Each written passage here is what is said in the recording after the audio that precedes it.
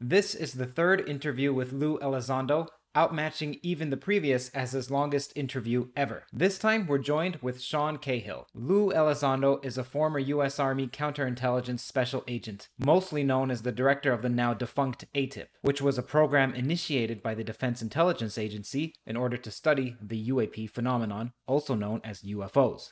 Chief Sean Cahill served in the United States Navy from 1995 to 2015, with missions spanning from anti terrorism to anti piracy to interrogations and investigations.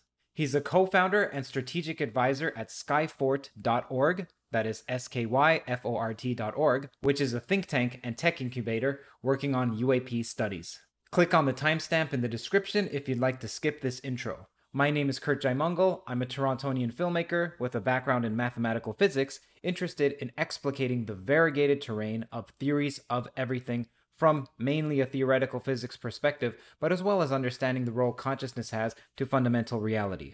The plan is for this podcast sometime this year to lead somewhere, perhaps even earlier, starting with ideas in gauge theory, which begin in ideas in Lie group theory, and build up to the infinite categorical approaches to physics, like infinite categories and modal homotopy type theories as well, and even geometric algebra.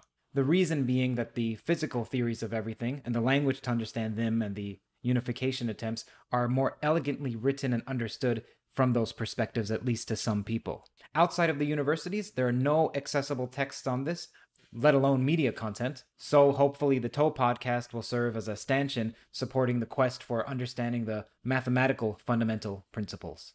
If you enjoy witnessing and engaging with others in real time on the topics of consciousness, psychology, physics, and mathematics, then check out the description for a link to the Discord and subreddit.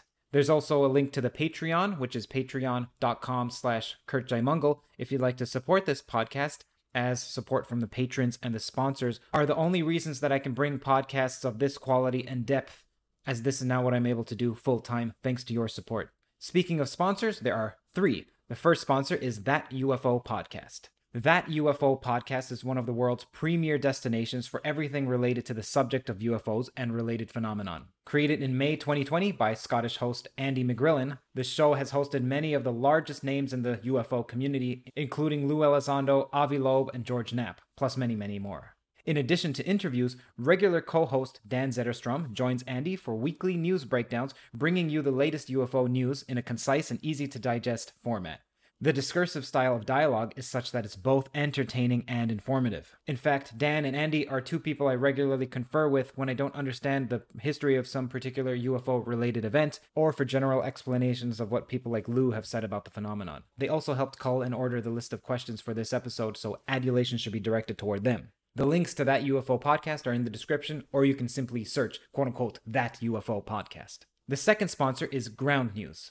If you're someone like myself who's ever exposed to the unrelenting onslaught of digital media, you've become increasingly skeptical of the veracity of the information you're receiving, particularly with regard to balance, and that's where Ground News comes in. For every breaking news story, they'll show you which media outlets are reporting on the issue and where they fall on the political spectrum. You can instantly spot media bias, discover stories outside your own, perhaps unrecognized echo chamber, and attain some clarity, especially in these chaotic times.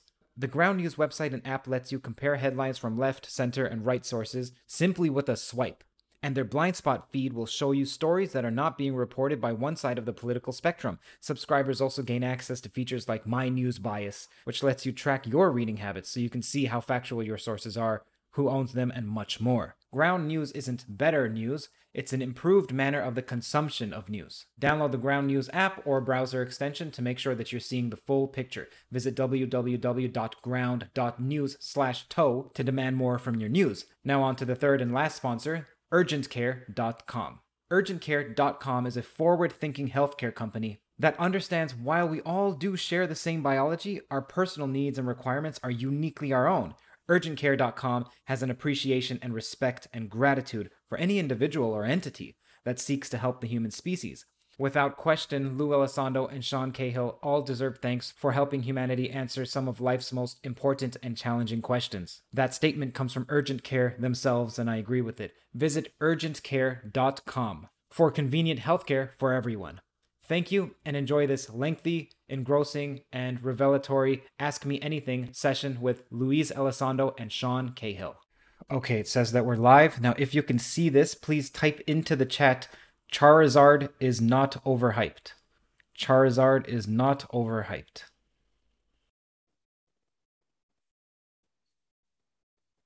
All right, there we go. Okay, thank you, Sean. Thank you, Lue. I appreciate it. And you know me, I like to be efficient and make a great use of our time and the audiences as well. So we'll get straight to the questions. This one is directed to both of you, and we'll start with Lue. Lue, while you were in the government, and then this Sean, while you were in the government, have you ever come across the words Element 115? Did you see it? Did you read it? Did you overhear someone allude to it? So first of all, Curt, um, how you doing? You doing good? Good. Doing great, good. man. Everybody out there in uh, in the uh, social media world, thank you very much for having having me uh, and spending today's afternoon with me. Um, don't I mean, don't get me wrong. I don't mind kissing on the first date, Curt, but uh, just wanted to first say thank you for having us on here and to your audience for having us.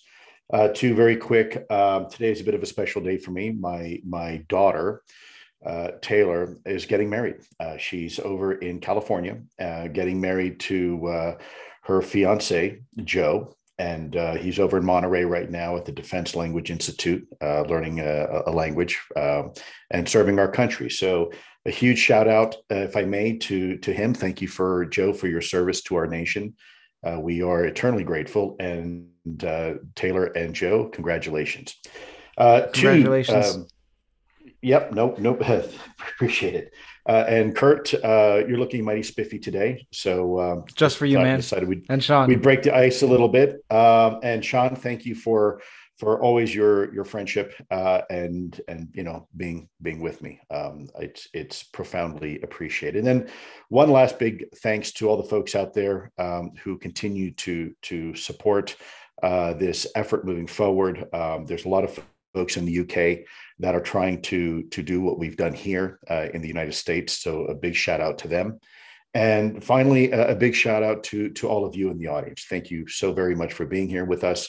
Um, it is truly an honor and privilege. Now, now that we've got that out of the way, Curt, let's answer your question about Element 115. Um, no, um, there is obviously a lot of discussion about it in the uh, Twitterverse and social media but that was never uh, a part of the the the ATIP portfolio. Uh, doesn't mean it wasn't part of portfolios beforehand, or, or perhaps you know some other efforts uh, that were parallel or tangential to ATIP. But while I was in ATIP, Element 115 wasn't ever really part of any type of discussion. Sean, I never, no, I never encountered anything like that. I wouldn't have, um, even if it were purportedly anything like what it's supposed to be. I've only heard about it in uh, the zeitgeist of ufology from the same sources. Do you all have any reason to believe that UAPs and or what may be behind them may intervene at some point to prevent nuclear holocaust or some large iniquity, for example, with Russia? I personally don't have any evidence of that. We've uh, we have uh, a great deal of evidence that they didn't stop the testing of the first device, the use of it twice, and the subsequent testing by numerous nations on the earth during that period of time. So I don't see why they would intervene otherwise. I don't have any evidence to point towards uh, any kind of motive. I can't even identify uh, who's behind the craft. So getting to their motives would be a very hard, very much longer stretch. Yeah, I'll go. I'll go even even a little more pointed than that. Um, look, they did nothing. They didn't interfere with Chernobyl. They didn't interfere with Fukushima. Uh, they didn't interfere with uh, the vaporization of, of 500,000 people uh, during World War II, uh, Hiroshima, Nagasaki. They didn't interfere during the Cuban Missile Crisis. They didn't interfere uh, right now in the Ukraine. So, so the question is: um, Is there any evidence to substantiate that they're here to stop mankind from from uh, hurting ourselves. Well, they haven't stopped COVID. They haven't stopped uh, climate change. They haven't stopped World War II, Korean War, or anything else, and they haven't stopped world hunger. So, um, you know, I, I, I, it'd be nice if that was a case, but I haven't seen any evidence to suggest that. Um, what I have seen is evidence to suggest of some sort of ISR, intelligence, surveillance, and reconnaissance of our nuclear equities and technology. That we have seen. We've been able to substantiate that and the ability to interfere with it. But the question is, are they interfering it for good? Well, um, th- right now, there's no information to indicate that, at least not from my my perspective. Do you have any idea what this cataclysm is that people like Ross Coulthart refer to? And if you do, has it been is it impending? Has it been averted? I think I understand um, what Ross is talking about. I've spoken to Ross at length uh, privately. There's, I know what Ross is talking about from the side of um, of the coin where I where I work and where I'm interested in this subject. I have no connection to it whatsoever, other than, as I often say, the pop zeitgeist ufology. Now, that's not to say that I haven't studied some of the same things that uh, that Ross has and um, other people like Grant Cameron and others. That there is a cyclical nature to uh, to life on Earth. That there are changes evident in the fossil record and in um, sedimentary records um, and things like that. So there may be a, a, great deal of conflation going on here between what we call the entertainment aspect of ufology and the, the need to um, invigorate a subject and keep people interested in it, vice the actual nuts and bolts again and the reality of it. Um, species have gone extinct before. There's no reason to expect that we won't go extinct someday. Uh, so when people talk about cataclysms, I think it's important that we don't conflate them with um, with pop ufology. I'd like to leave that to the geologists and to the climatologists and the other people who are who are making that their specific focus. Um, I, I, you know, I, I Curt, I, am not sure precisely what you're referring to. I mean, cataclysms have always been been part of of of human evolution. Um, you know, in fact, one could argue we've always been on the verge of a cataclysm at any moment. Our species. Uh, there have been been historical anecdotes, whether it's Nostradamus or the Mayan calendar, or even the Bible or the Bhagavad Gita or anything else. Um, you know, cataclysm, Armageddon, whatever, has always been part of of of of the human storytelling uh, and for good reason because you do have these these uh, moments in time where where things change so dramatically. Case in point one could probably point to to uh, the last ice age where where when when the earth was thawing out of the ice age that was a, a major moment uh, and caused a lot of species uh, you know to to to disappear because because environments change uh, the land bridge, when that uh, was no longer crossable, you isolated certain uh, genetic species from from intermingling with each other. Um, you know, it's it's always been part of of, of who we are, and, and, always part of Earth because Earth changes, right? Look at the dinosaurs, right? And and that was a hell of a cataclysm, right? When you had uh, you had a, a, meteor come down and wipe out ninety percent of, of, of animals on this planet. Um, that's just reality. That's not, you know, I'm not sure that's necessarily something we all need to to, to look at and say, oh, you know, that's coming. We, we've we've always been immersed in that. Again, you can look throughout history and see where mankind, in almost every religious text, there is some sort of reference to some sort of cataclysmic event, or that has ha- occurred or will occur. Whether it's the flooding stories of the earth uh, and the forty days of of, of, of rain, uh, or other, you know, uh, uh pick your pick your story, right? Um, that we have always been telling ourselves and the things continue to happen. World War III, just another example, right? Um, nuclear war. Um, it's always it's always right around the corner, and and for good reason because you have a lot of things operating in nature that aren't necessarily in favor for a species survival, and so you have to adapt if you want to survive, and whether that's climate or or because of things we do to each other. Um, that's just the reality of life. So I'm not aware of any particular cataclysm uh, story you're maybe referring to because frankly you know p- pick your story du jour there it's there's a lot of stories about let me be a bit more specific. So Ross was referring to a cataclysm as one of the reasons for why the aliens, I don't know if they should be called aliens, but those from the future may come back into the past. I, I don't know. I, I really like Ross. I, I, I, I think he is a deep thinker. Um, I really enjoy talking to him actually even about these subjects and and throwing conjecture against the wall. But I find myself um, having a really hard time saying what are we? Ta-? I mean, not to not to play games, but what are we talking about here? Because if we're talking about climatology or, or if we're talking about um, as we said, sedimentary record and other things like that of what has happened before, we're, we're throwing in aliens that we can't prove. We're throwing in a historical record that's spotty. I agree that some of these things, when placed on the table together, make a certain amount of sense, but I can't say that the things we're placing on the table make sense by themselves. And so there's a great deal of conflation going on. And I don't want to say that anyone's using their imagination too much, but I, I, I think that it would just be my opinion about a lot of fiction and conjecture that I've taken in over the years, which doesn't really apply um, in any way, shape, or form to the work I'm doing right now. So it's it's imaginative, and I, I think it's interesting, but um, again, I can't, I couldn't get there as an investigator um, because I'm I'm making to an extent making up one of the um, one of the suspects, and I'm I'm assuming a story of one of the complainants to arrive to say that a crime has occurred. It's the fruits of the poisonous tree. So it's it's um, if we had like a show about conjecture and we wanted to really dig into that, you know, we can get some get Graham Hancock or another expert maybe from one of the ancient uh, ancient architect channels or something like that.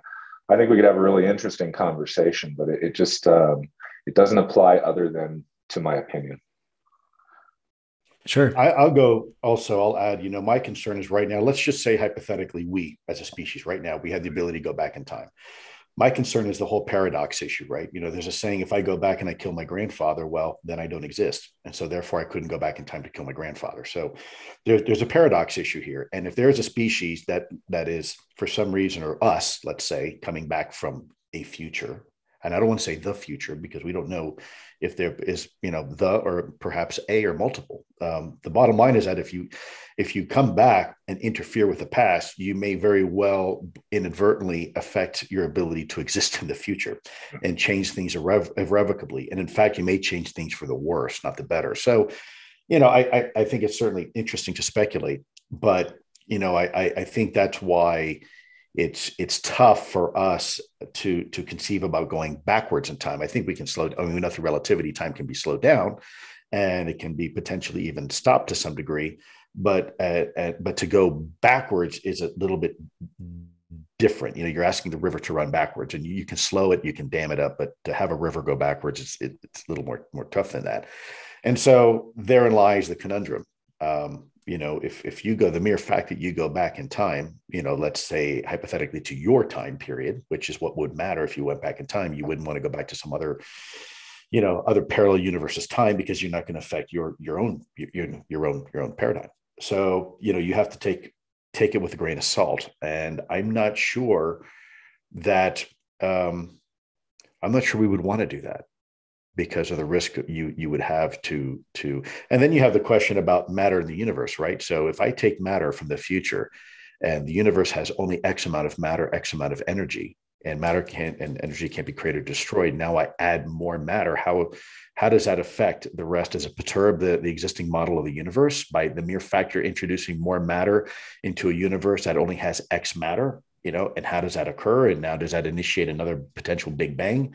You know uh, these are the questions you have to ask yourself seriously whenever you you're you're you know providing a, a theory about time travel. Um, again it's like like sean said it's fun to speculate but there's a lot more considerations that one has to consider if if that was really possible and would you really want to do it Quick editor's quiddity here. For those interested in the details, a positive cosmological constant allows for the creation of energy, and energy seems to only locally be conserved, not globally. I think the uh, the we can all take the scene from um, one one of the Avengers movies. I think it was Endgame, where they you know they ran through all of the all the different time travel movies, and they were trying to explain, you know, they're all they're all wrong. You know, they're they're getting it wrong and they started talking about real physics and, and, the possibility of alternate realities and alternate dimensions and things like that. But we have to ask ourselves again if we don't have any personal perception of that, if we can't detect it, um, again, assigning motive is very, um, very much just opinion. Opinion. We, you know, um, I don't even know if I have a time machine or if there's an alien, what his motive is, what he wants, and, and ag- agreed with Lue again, what are even the mechanics of operating something like I don't know. You know, it's it's far beyond my ken. And just so you know, Lue, you mentioned at one point that the present is thick, for lack of a better word, cigarette burning as the analogy. And for people who are interested in a more mathematical treatment of that, I spoke to someone named Nicholas Gisin who gave a formalism to indicate that the present time is thick, that you can't pick out a particular point, that as soon as you do, it's almost like honey. So if you're interested in that, I'll put a link in the description. Yeah, no, and we see that very practically in, in, in the world of, of, of quantum physics and even the, the, the expression or the description of an electron. You know, again, we, for for your audience who's probably my age remembers in high school you learned that an electron orbits uh, the, the nucleus of an atom but in reality that's not what's occurring. We now realize it's it's called an electron cloud for a reason because of predictability and the fact that the electron can never be isolated in a in a fixed position. Um, you, you can't do it. And in fact is some scientists now are, are speculating that it, is because the electron um, is is is everywhere and nowhere at the same time. It is it is so small that it may literally be zipping in and out through the very fabric of space time. Uh, and so it's nonsensical to to to try to predict the position of an electron because there is no position. It, it's everywhere and nowhere at the same time around the nucleus of an atom. And um, you know that's that's that's some of the, the the observations we're beginning to see now. And let, let me add to that that the past and the future are human semantic constructs. It is always now. It always has been now from the universe's perspective. Um, the past is not something that's sitting next door to us. Um, it's it, so, and another way people think of things when we think when we say that the stars are very far away, the light took a very long time to travel to us. We're seeing the past. Again, that's a metaphor we're not seeing the past, we're seeing now. And now is those photons are here hitting your eyes, where at one point they were not. And so these, these are arbitrary concepts a lot of times. So we've applied a linear understanding to, to something that exists on a, on a much deeper, much deeper spectrum in a lot of ways. When we talk about going past, going future. And I think a lot of what Lue's talking about is that reality is anchored in now and in the present and in the the entropic state that we exist in at this moment. And so there, there's so many variables to that and we've jumped we're jumping to motive you know? I, I think that's that's something we just have to keep in mind. Yeah i'll go even a step further curt too with that kind of piggybacking off of what what sean said. You know the whole notion of, of here and now is is almost nonsensical. Um it's it's let me give an example. I ask you, Curt, where, where are you? Where are you right now? Let's do a little quick exercise uh, for you and your audience. Where are you right now, Curt? Let's say Toronto, Canada. Okay, where's Toronto? Where, where, where's Toronto? I don't know how to answer that. Okay, well, where, where's where's where's Canada? Where's North I America? think Where's, I see where where's you're getting Earth? Yeah, right. Right, and where's where's our solar system? Where's our Milky Way? There is no here here. Okay, we we we invent here because we have to live in an environment where we are used to boundaries and borders in order for us for things to make sense. But in reality, in the big scale of things, in the scale of the universe, the notion of here and now is really nonsensical because dep- depends on where I am relative to everything else. Here and now like only to, exists. Go ahead, Sean. Sorry. It's like trying to pick out a specific electron from the electron cloud. It's it's um, yeah, it, it's it's everything is moving so dynamically at all times that that a, a, location is is not a concept even. It's only a locate. It's only a location in a in a certain regional area, and you have to have some kind of substrate to measure that against. And we live in a universe that lacks a substrate. There's no grid, snap tube grid that we can say we've you know we we're now 14 parsecs northeast to you know local globular cluster north. What is the, what's that mean? You know, how would you navigate to that? Um, that that's something that, that really that really digs into my head. How would we navigate to a point in the past? You have to figure out its location in space time. We haven't found space time yet to be a thing to measure in that way. And so, in fact, you know, if you look at in the in the, the theory of of of of inflation of the universe during the Big Bang, early parts of the Big Bang, and even now as the expansion of the universe continues to get bigger and faster, you know, scientists are now now stating that space itself is space time itself is is being created, and that's how you have this this expansion of the universe occurring faster and faster and faster. Uh, and that's you know when you when you when you look at that case in point, let me let me see if I can if I can bring this to, to a little bit easier to understand. Um, the the universe has been estimated to be almost, not quite, 14 billion years old, right? And yet, when you ask the scientists how big is our visible universe from end to end, they say it's about 94 billion light years across. Well, how can that be? Because that means the universe has to be expanding big faster than the speed of light. Well, not necessarily. What's happening in, in theory is that actual space-time itself is expanding as well. Um, think of uh, probably the best way to explain it would be imagine um, water seeping up from the bottom of the bathtub and filling up the bathtub. Um, it's filling up from all sorts of little pores. Water's coming out everywhere, not just out of the spigot, but everywhere. It's starting to fill up the tub. Um, if that is the case, then then again, the notion back to where we are in the universe is always changing. In fact, when when you say to yourself, and it's a little bit scary to do, but you say, "I'll be here tomorrow." No, you won't. You will never be here again, and you you you can't. It's impossible because the the, the entire universe isn't static; it's moving. And the only way to know where you are is only relative to other people and where they are. And by the way, they're just as lost as we are. So, and I don't mean that just figuratively, I mean that physically. You know, we, we are all kind of kind of scattered to the winds together. And the only way we can kind of relate to each other is, oh, you're you're you're kind of close to me. So I guess relative, you know, you're you're six foot and I'm five foot, you know, nine, and and and we gauge things relative to each other, but we really have no idea where we really are or even when we are and that's you know something to to ponder perhaps we invented time so we know when to meet for lunch tomorrow but in reality we just observe entropy it's it's there's a lot of yeah please that's okay. I just like to bring things down to a mathematical level for some of the people who are more interested. So the relational view that Lue outlined, you can read more about it in a relational view of quantum mechanics by Carlo Rovelli. And then this arbitrariness of setting one's location when Lue was asking me where's Toronto and it's in Canada and then where's Earth and so on, that is called general covariance. And that's where the principle of, well, that's where general relativity comes out from. So if you want to learn more, for those who are interested in mathematical details, that's what you can look up.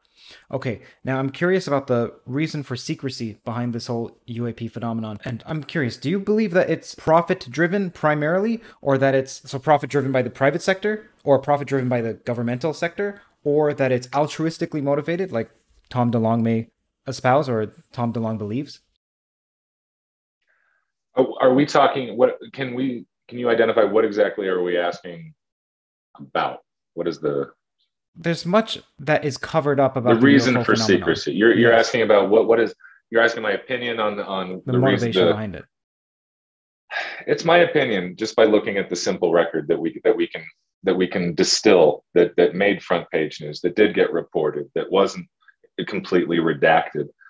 I think we see um, a great a great deal of shock and confusion, and if we're to assume that some of what we all assume about crashes and bodies and things like that, if that occurred, we're still debating what that would do to our religions, our society, our culture, our stock market, all of, all of those things. We still debate that to today with a, with a pretty split constituency of who believes that we're ready and who believes that we're not.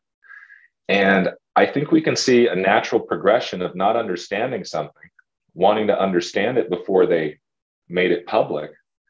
But then human nature probably, I can imagine, took over. And so power mongering, um, greed, uh, idea mongering, you know, thought, mo- if, if, that makes sense, um, wanting to keep, you know, important ideas to yourself. I can see that that would have happened already, but I still think that the government that I, the military that I worked in and the government that I operated in and around was made of just regular folks like us. And it, this is an incredibly daunting subject. And so I can see where it would have continually been kicked down the road. Now that's just my opinion, just from from looking at what's in, in the public record. Um, what do you mean by that? It would have been continually kicked down the road. No, I've never met anyone who wants to take responsibility for this.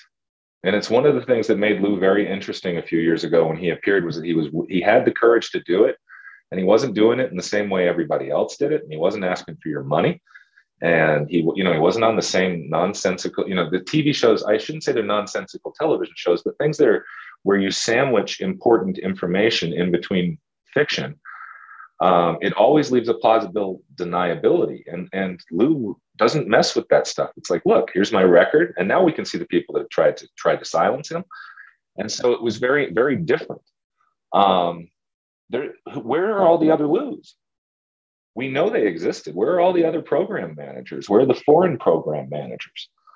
Um, they're not speaking up. There's a lot of simple questions as to why, whether they've been threatened, whether they're under under NDA. But I talk to a lot of people every day who want to help in this subject, very high profile people. Um, but, the, but they don't want their names out there yet attached to it. They believe in it, they think it's real, but they're still waiting for that tipping point to where we stop laughing at it, and where it stops ruining careers and ruining brands or, or changing people's minds about you as an individual. Um, it's primarily so I, I, stigma that's keeping them from speaking out, non-anonymously. I, I would say that that I would say that primarily stigma and and um, and wanting to. Let me try to make an analogy here. That if if I brought a um, if I came back to the to the tribe around the campfire, and I brought a uh, a power saw, what are we going to use it for? It has a purpose. It's for cutting wood. Um, but a lot of the folks in the tribe are probably going to want to use it to go take over the other tribe next door because it's the most powerful weapon they've ever seen. And right there, we may be just be talking about human nature. But I think that there's so much of our humanity wrapped up in the answers that we all assume are part of this that very few people have been willing to take responsibility in any way, shape, or form. Lue, what do you believe to be the primary reason? Look, Curt, I'm um, for lack of transparency. Yeah, I'm I'm a little more more practical and and probably a little bit more um, less optimistic um, for our species on this particular question. What if there was knowledge, Curt, that was so volatile, so earth shattering, that the mere knowledge of that getting out could predicate an action that could potentially threaten the entire species. Now, what do I mean by that? Um, for just a moment, uh, take off the, the scientific hat, take off your humanitarian hat, take off your, your philanthropic hat, and put on a hat of national security. Um, you just we just talked about the fact that there's no indication that these things have been here to help us Okay, um, they're, they're, they're, that, so there's really only three possibilities: they're benign, uh, or, or, or if you will, benevolent, or two, uh, they are malevolent; they're here to hurt us, or three, they're just here to observe us, and they're capable of doing both good and bad, like us. Well, if you were to put on your national security hat for a second, let's say you're a, a, general from the 1950s or 60s, and your job is to protect America and all things good and great, and uh, the height of the Cold War, and you've got the you know the, the Soviet bear across there, and things are pretty tough, right? Um, and nuclear proliferation is a real thing. Now um, you have information that there is something here that is can outperform anything you have, and really um, anything you have is is is rather um, ineffective uh, from a national security perspective. And there's a thing out there, um, and it doesn't show that it's being benevolent. So it's only one of two other options: either malevolent or it's like us. And we see this very careful ISR uh, surveillance of our nuclear equities. It's interested in nuclear equities. Well, some may look at that as what we call preparation for the battlefield. Okay. Um, and, and let's just say hypothetically, there's a 10% chance, US has a 10% chance that these things are bad or, or one day they're going to come here in force and they're just, they're, they're, they're looking at us, right? Remember, you're putting on your national security hat. So, so forget about everything else for a moment. Your job is to be paranoid. And there's a small remote chance that these things are not good. Um, and maybe there is a plan for these things at some point to come uh, in force in 50 years from now. And if the mere fact you have this conversation uh, with the American people, what's going to happen? Well, the American people are going to start getting prepared. Well, you know, I can tell you in real life combat situations, when we send in long range surveillance LRRS teams, you know, behind enemy lines, the moment the enemy finds out that we know, um, that that that they know we're there. Um, the surprise element of surprise is over, and so ultimately, hypothetically, imagine a scenario where maybe we had 50 years to prepare for something, but now that the cat's out of the bag, um, that existential action will happen tomorrow. And by the way, we're not ready for it. We're not prepared for it. We don't have a countermeasure. We don't have a, a capability to counter this. And so, from a very real perspective, a national security perspective, the mere fact that you are acknowledging the existence of something may predicate an action or an act that you're not prepared to have right now.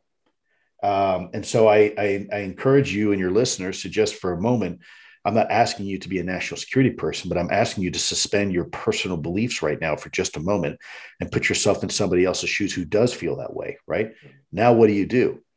If the mere fact of t- talking about this could potentially cause a reaction that you're not ready for as a country, as a civilization, right? Maybe that's the reason why you decide to only brief certain presidents who have a background in intelligence. Maybe they were former directors of CIA, but the other presidents who are career politicians will be, you know, they're here today, gone in four years. Maybe you can't even risk telling them. And so maybe the reason why this has been kept secret so long is actually, in a weird sense, some sort of sense of patriotism by people, um, and and you know maybe maybe that's how they justify it. Um, and I'll leave that at that as a as a you know just a as a counterpoint of, forcing people to think maybe a little bit non-traditionally. Now, do I think if that happened to ever be the case, that's that's that's that's a, a good explanation? No. I, I, still think that we have to be honest with the American people. You know, it's like going to I've said this before, it's like going to the doctor. Just because I have cancer, you know, it's bad news. Don't don't keep that from me. I want to know because maybe there's a chance I can do something about it, right? And so, but but do I understand that mentality? Sure. Nobody wants to give anybody bad news. Now, am I saying that's the case? No, I'm not. It's just you asked me one of the reasons why people would want to keep this secret. Well, that's a really damn good reason why people may want to keep this secret because the mere fact of not keeping it secret could cause an, a, a reaction that you're not ready for yet. There's nothing you can do. You don't have a countermeasure. So again, from a national security perspective, you know that that makes sense. Again, I don't agree with it, but you know that that's understandable. What should I do then, as someone who? That's that. That's a wrong question to ask. That's Sean. Will t- Sean can give you advice on that. That's, I can't tell you what to do. Yeah, that, that's that's my problem. This is see when we go down this rabbit hole, people want want to know what should they do about it. That's not for me to answer. That that's for you to answer yourself. I I can't tell you what to do about it. I can't tell you what to, I can give you like, look, hey, look, you've been diagnosed with cancer. You should get treatment. But how you get that treatment and who you get it from and how you decide to do it, that's on you, brother. That's not me. I can't, and for, it would be overstepping my bounds to even begin.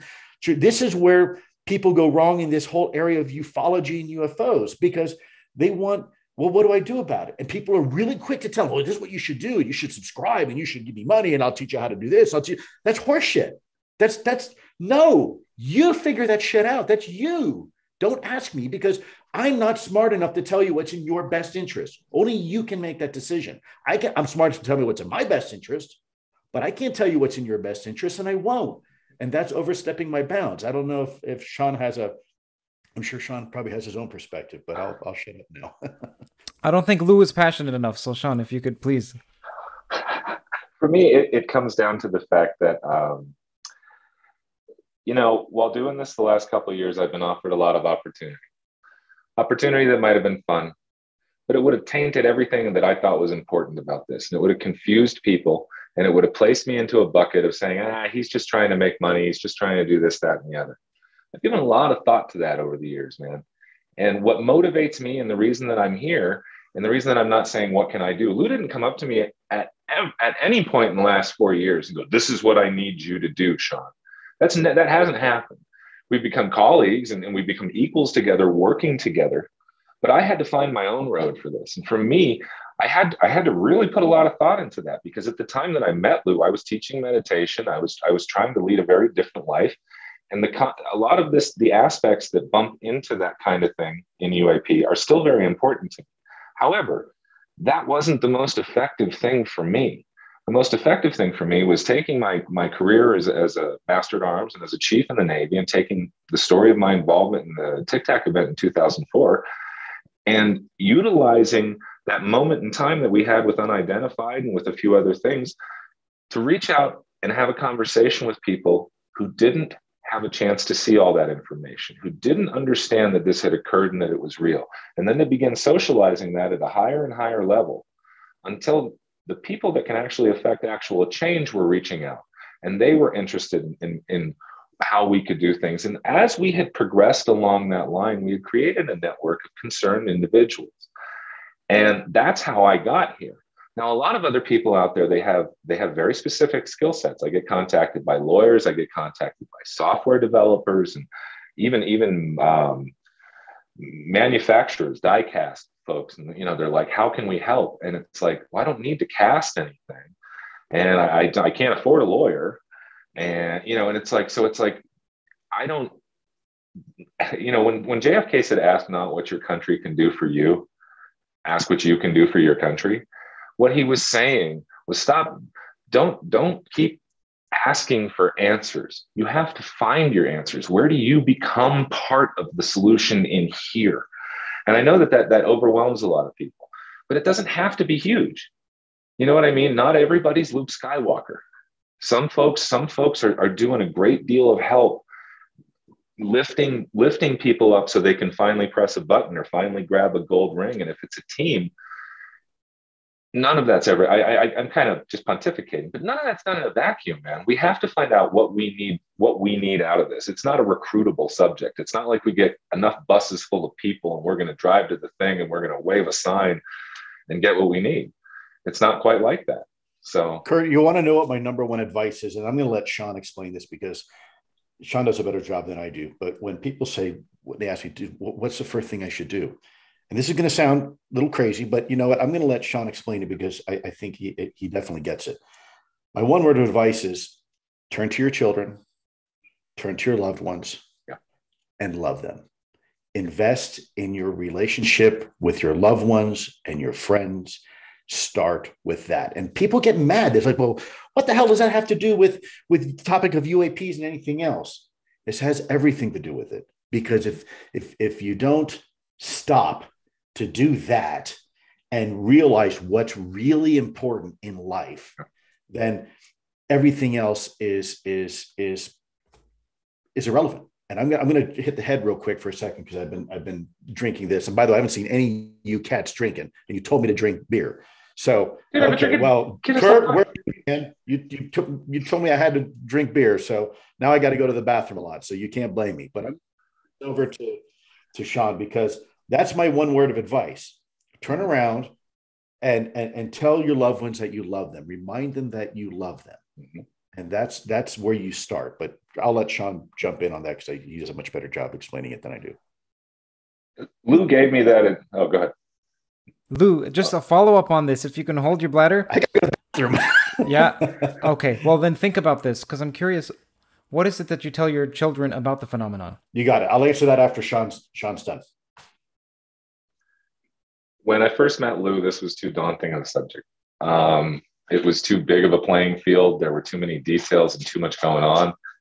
And it was kind of freaking me out, you know, because uh, very early on, a few years ago, I accepted that this was real all in a rush and then started doing more research in different areas. Some of this can be pretty heavy sometimes. And I turned to him and I, I was, I didn't know what to do. And he said, you need to check your foundations these you know eh, basically what it came down to was achieving world peace while coming from a, a, a, busted home where people are living in fear or where there's no communication and no love isn't worthwhile isn't you're that's not that's not the mission. The mission here is to i call it this kind of gets a little woo but i call it my my my creations and my covenants that's that's what i'm beholden to and those are my children and my wife eh, first of all and then that ex- my circle of family and my circle extends out there to my friends and my family and things and larger family and things like that. But i am i am truly beholden to those people in my house to my wife and children. And i can't ignore them. And that means that i have to choose to be the right person in that house. And that means that i have to choose to look for my faults and to be self-aware and to try to be the best person that i can in that environment because it, it is truly where everything else stems from. If you're not doing the right thing with the people that you love the most that are closest to you. Why do you feel the need to to mount a horse and ride off after off on this crusade to change the world? Truly start changing the world where you are and where you begin and then turn towards slaying the dragon. And it makes slaying the dragon a much more logical much more easy process because your heart's in a state where it knows right from wrong. And, and it knows where to go next. It's not bogged down by by the worry that frankly that, that we all take to work with us every day. You know what I mean? We, we all get up in the morning wondering about the go to bed angry, wondering about the argument of the kids' grades like this. How is how is this relationship panning out? Are, are we going to separate? We've all got these things going on, but if we all decided to take the kind of effort that we wanted to apply to ufology, turned around in the short term even and applied it in our own lives and in our homes, suddenly these larger battles become much easier. Thank you, Sean. Now, Lue, do you have an answer to that question, which is, what is it that you tell your family slash children about the phenomenon? They find, need to find their own answers. Uh, we're, we're, we're all trying to figure this out together. And it's okay to, to be excited. It's okay to be scared. It's okay to be whatever human emotion you, you need to ascribe to it um, you know, it's it, it's okay. There's, I, I think, I think honesty and truth is is the best remedy always. Um, that will get us through pretty much anything, um, even even when things is bad, even even when the news is bad, even when the news is good, right? Um, and I, I try not to think for anybody. Don't try to think for my kids or my spouse or my friends or you know the only person I can think for is me, and um, you know, I tell my kids, you know, just be kind to one another, be kind to the world as much as you can, you know, try to give back more than you take. Um, you know, because I think it, whether you're talking about UFOs or anything else, that's sound advice. If, if you want to, if you want to, if you want to think about UFOs, well, you know, it depends on on how you lead your life as a human being, which is going to take you down the road. Look, there's there's there's a lot of people out there um, that want to hijack the narrative. Uh, but it's not just because it's a UFO thing, it's because that's the kind of people they are. They will do that with anything and any opportunity that they're given. UFOs is just one of them, but th- there are people out there that will try to do that and hijack that. And um, it's uh, it's a shame. But you know, I I can't change those people. I'm not going to, and I'm not going to waste my time changing those people you know they, they have to deal they have to deal with that on their own terms.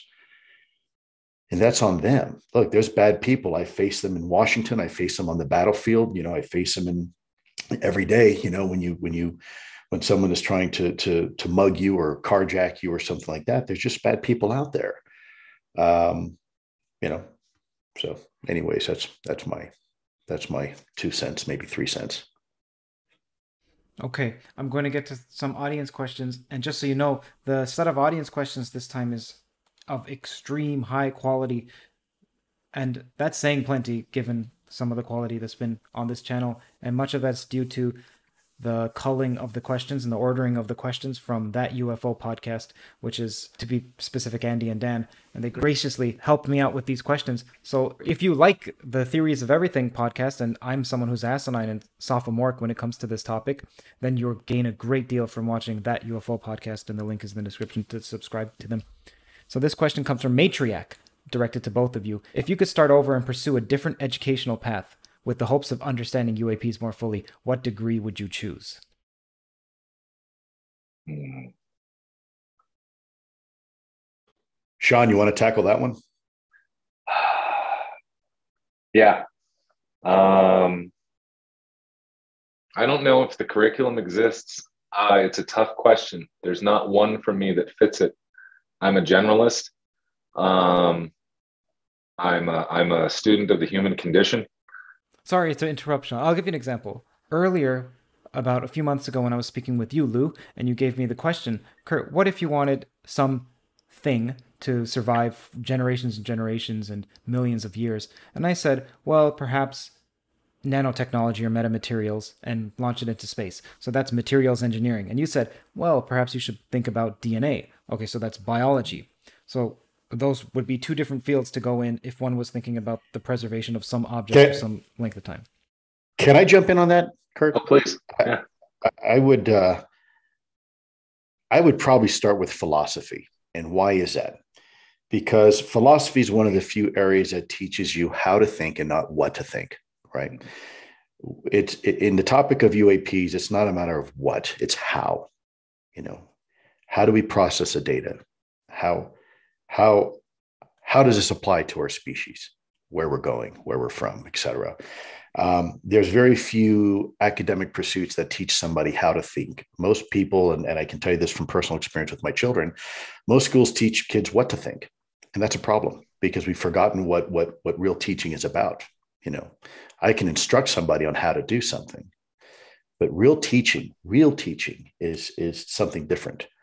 Um, you know, a lot of the the the Eastern philosophies understood that. You know, it's it's it's not teaching somebody the, the, the specifics. It's teaching somebody how to how to find the data themselves.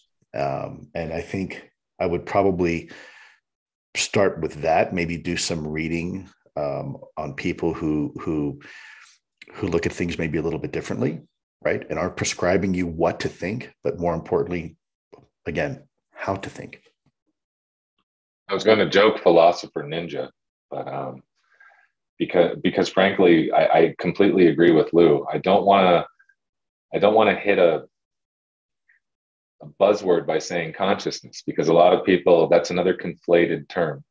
Um, but philosophy with an eye towards protecting the human race, I think, is something that that that I that's what I would want.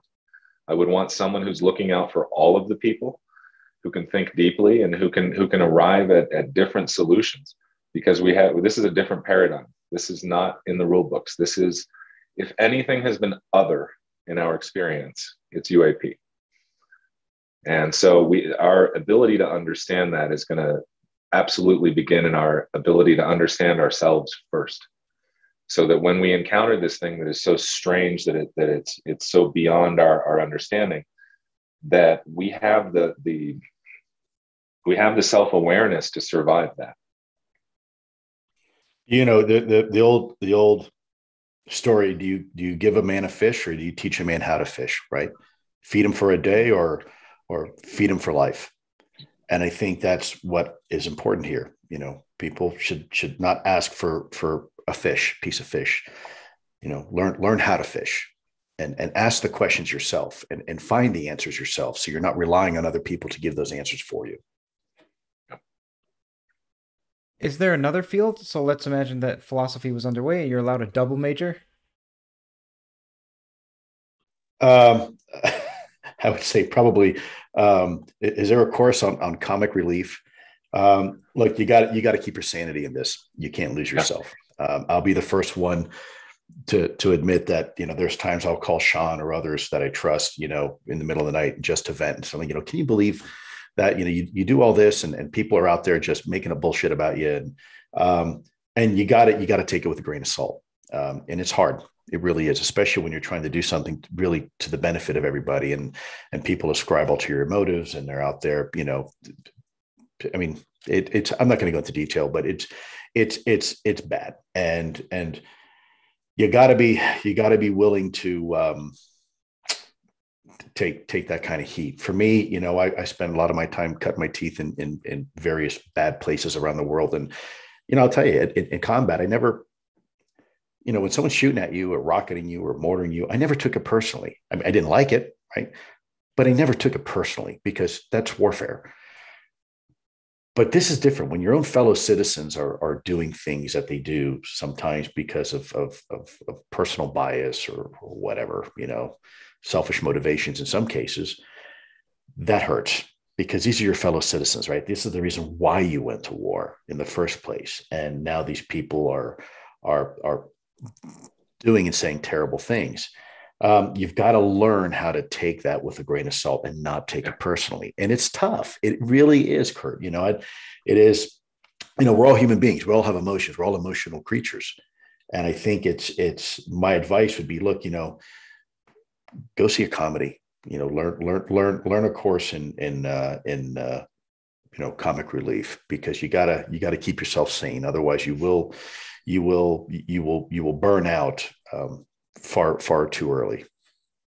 Sean, um, I, part of me wants to say game theory, honestly. I, you know, I want to take your question seriously. I think philosophy, game theory, um, an understanding of the martial sciences, and an ability to think with self-awareness to be a self-aware human being to be a fully realized human being who has done their shadow work for lack of a better word you know in a jungian sense who's who's climbed through their hero's journey uh, who knows what those things mean because they are learned enough to to try to understand what this life is and to try to find out what the um, the archetypal similarities between humans are that we can use to find commonality and validity.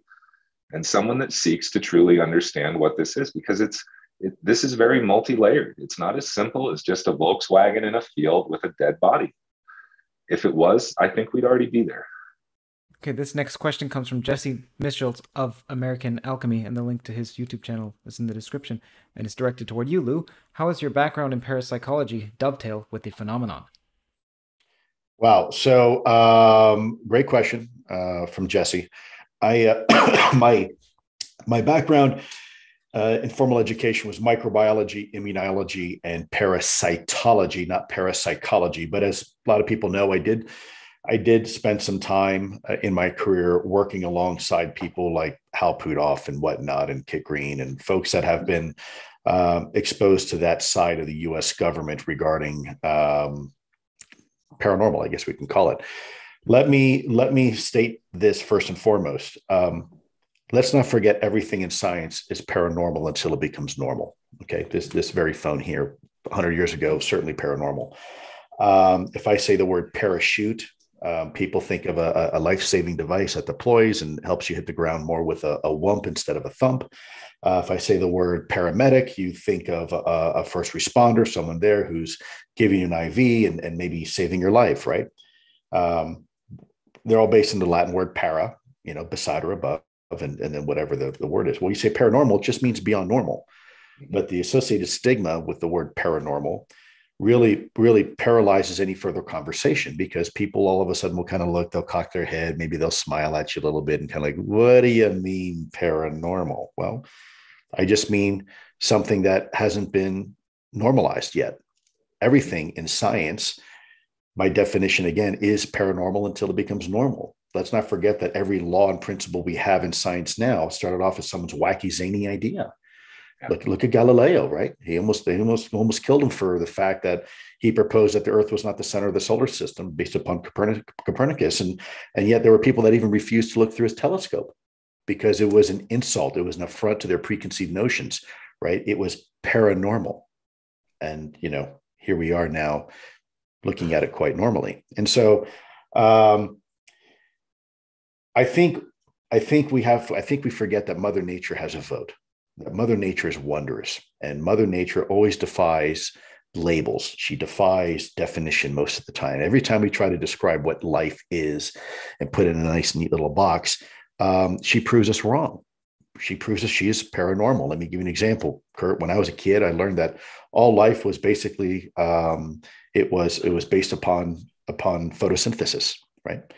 Uh, all life, and it turns out that's not the case. There's there's animals in the deep parts of the ocean that survive off of chemosynthesis uh, near black smokers.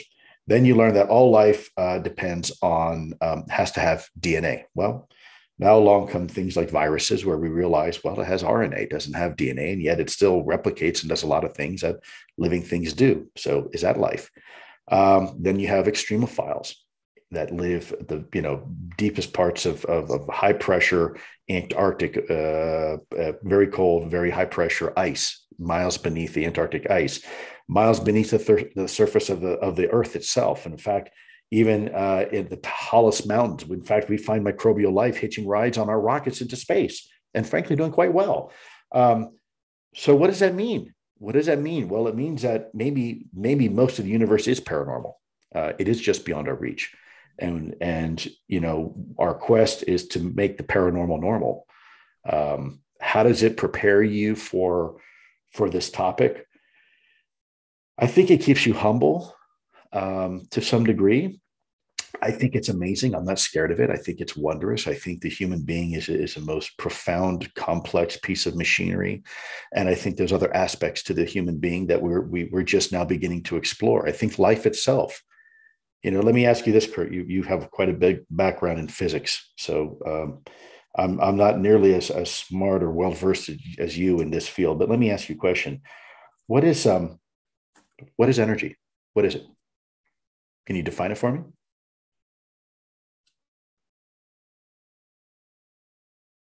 How about let's do an easier one? How about matter? What's what's what's matter? What what what is matter? Technically, is matter is what is a part of a matter field. And there's a technical definition for matter that's based on observations. Okay. This question of what is, then you can ask, well, what is the number five? And then what is anything? Anytime one gives an answer, then it's like a child asking why behind that question. And that's valid. Correct. Well, my point being is that that that we have these principles in science, such as gravity, such as matter, such as energy. We've described, we even have mathematics to describe how they behave, and yet we still don't know what it actually is.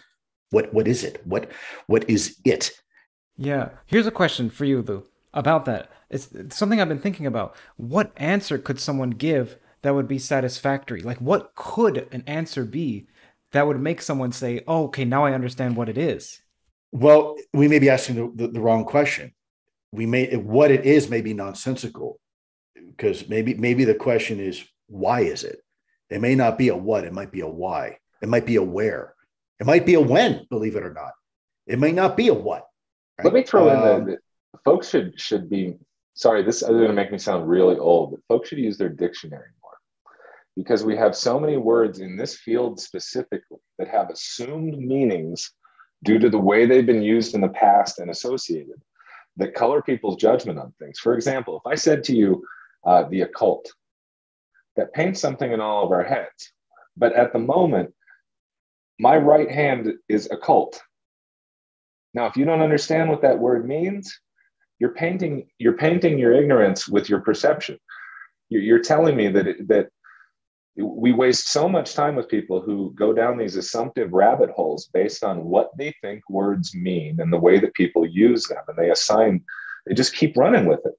And I want us to, to back off on that in the community in general and start using better words. Like we have to explain the word paranormal. Paranormal doesn't mean Ghostbusters.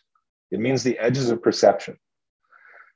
It, that's it's it's that simple. Now, some people want to say it means ghosts and goblins and werewolves and, and, and boogums and all this other stuff. And well, maybe that's what we want to investigate. But that's not the, we can't jump to these continual conclusions. So I, am just so evidence based when it comes to this. I love to talk the philosophy, but we do mix the philosophy with the nuts and bolts a lot of times, and make and makes make far far too great of a leap. I think. Okay, this next question comes from Bill Yates. It's a live question. It says, "I have aphantasia." So it means that hmm. one lacks a mind's eye, lacks inner sound, feeling, and even hearing. How does Lue, and you, Sean, as well, think the phenomenon would interact with someone such as himself? Such as Bill Yates?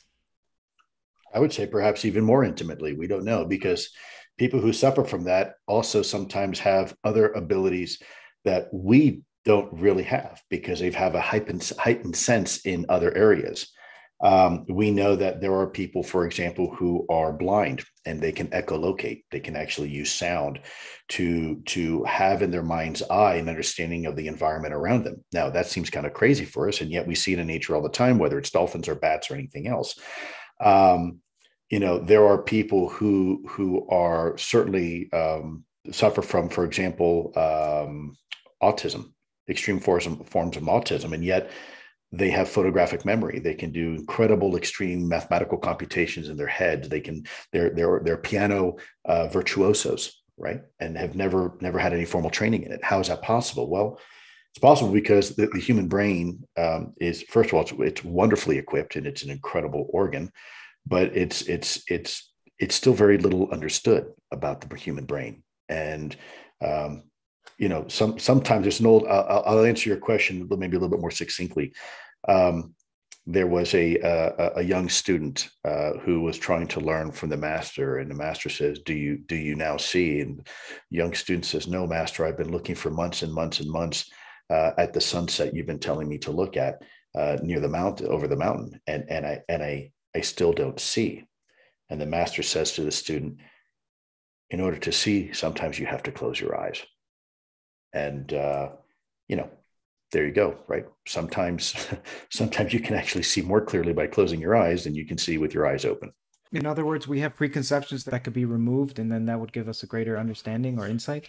Yeah i mean sometimes our you know sometimes our senses fool us look at an optical illusion right? An optical illusion is just that where our eyes are telling us one thing but reality is something different right? And in this case our, our senses are failing us. Not all senses are necessarily beneficial and they can be fooled. They can be spoofed right? Human vision is just another sensor collection system like hearing and touching and tasting and whatnot. Um, and and we know they can be spoofed. Our feelings can be spoofed right? You can be betrayed by by someone. Our sight can be spoofed. You have optical illusions. Our hearing can be spoofed. Uh, you know we're not perfect systems. We we we we they can be flawed. And sometimes filtering out certain inputs certain data can actually be beneficial perhaps sorry sean i kept interrupting you Oh no, man, it's okay. Um, interestingly enough, without an official diagnosis, I believe I suffer from aphantasia as well. Um, I don't possess a very uh, vibrant inner mind's eye, um, except upon waking from dreams or, uh, frankly, uh, very vivid trance states um, where I've taken myself down through meditation to a, a different place. Um, for me, that was finding out that the word aphantasia existed to me was very important to understanding myself and my mind's eye and, and what my personal inter, inner experience is. Um, that led to researching things like interoception, um, understanding the inner workings of the body and the perception of the inner workings of your body. Um, something you can do through meditation is to actually start to pinpoint certain places of the body and then start to understand their processes. Um, but beyond that, I put because of things I've witnessed and experienced. And I'm very lucky to have witnessed and experienced some things in the company of others, um, especially some of the the harder to accept things that maybe some people would uh, consider, excuse me, consider like poltergeist activity or things like that. I've been lucky enough to have other witnesses with me to at least say that we saw that thing. We may not know why or what, but that led me to research paraphrenia, and paraphrenia is like having schizophrenia without the bad parts. And I did a I did a great deal of, of searching, you know, down the comorbidity of those things. And I find it very interesting that the phenomenon interacts with human consciousness in a way that can mirror mental illness in some. It can, and it seems that some of some un, if one perseverates on these ideas without finding validity or answers, that it may be one of those triggers for mental illness. Now, whether those are parts of our fundamental archetype of our consciousness or not, or whether that, that's directly due to the phenomenon or not, I can't say. I think all of us has to take the time to go, what's up with me? What's my list of things going on with me? What can I change? What can I understand? And, and how can I be the most effective human being while observing my own life? Um, I don't know if that makes sense. I don't know a lot of people that are interested in living their life in real time, if that makes sense. A lot of folks are looking to jump from one dopamine fix to another, fear avoidance, risk avoidance, and pleasure seeking. And a lot of people would say that that in itself is the human condition. And I don't want to say that I'm holier than thou or better than anybody just because I want to check out of the societal aspect of a lot of things and delve deeper into a, what, a, what a lot of us call the matrix, you know, casually. Um, but I think that that's where many of the answers to this are gonna are gonna lie for a lot of people. We were talking off air, Lue and Sean and myself, about how how uncomfortable it is, at least for myself and many others, judging by the comments, it can be to study this phenomenon and just consciousness in general, and how that's something that almost no one talks about. I have an episode with Karl Friston, who is a neuroscientist, one of the, if not the most cited neuroscientist, just on this, on how destabilizing and debilitating it can be. I'm still recovering from, well, I, you, if you want, you can watch that episode. People who are interested. By the way, I consider it to be the most important episode of all the theories of everything podcasts because it sets a stage and talks about something that you may feel extremely uncomfortable with and think that you're alone, but you're not, and you may think that it's hopeless, but it's not. Jacob Lizzio from Signals, the YouTube channel, the link to that will be in the description, asks to both of you Let's pretend tomorrow an unidentified craft crashes out in the Nevada desert, and you are both tasked with recovering the craft. considering your experience and your knowledge, what sort of precautions would you take? What sorts of technology and human resources would you bring with you to aid your investigation? My experience and knowledge in that um, would come from aircraft investigation and aircraft recovery. So I'd, I'd first set up a, uh, a curriculum, so to speak, with my team that that spoke about you know what I learned about. First of all, you have to when you arrive on a scene of some of a, especially of a catastrophic failure of any kind of vehicle, you have to understand that as soon as you get there, you're you, are you are going to have exposure of chemicals, um, fuel, uh, depending upon you know what kind of craft it might be. It could be radiative. You know, we had we had portions of our of the of our training that were you know what if a satellite came down or something like that in the wrong place. And this was just from this was from my law enforcement training and because i had had traffic accident and aircraft accident investigator training as well. Um, i would start there. Then i would delve into the the, the established program uh, programs of record that what they studied. Well they studied radiation radiative effects. They, of, of something that appeared to be emitting high energy for lack of a better word. Um, I, I, would get down to first the first mo- the most important thing to me would be making sure that my team got in and got out with everything they came in and got out with that they were safe. Safety is the number one priority. And and, and after that it would be really just dealing with the environmental factors. Um, the people that I would send to do something like that, frankly, I would not send scientists.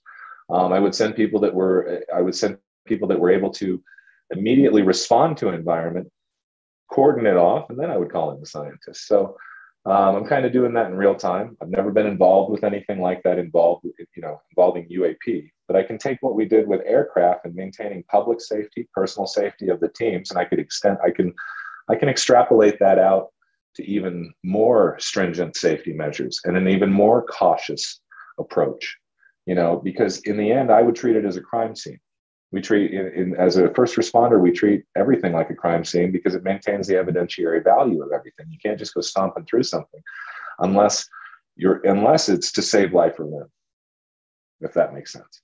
So we wouldn't trump a crime scene unless it was to save somebody else. So i would look out for personal safety.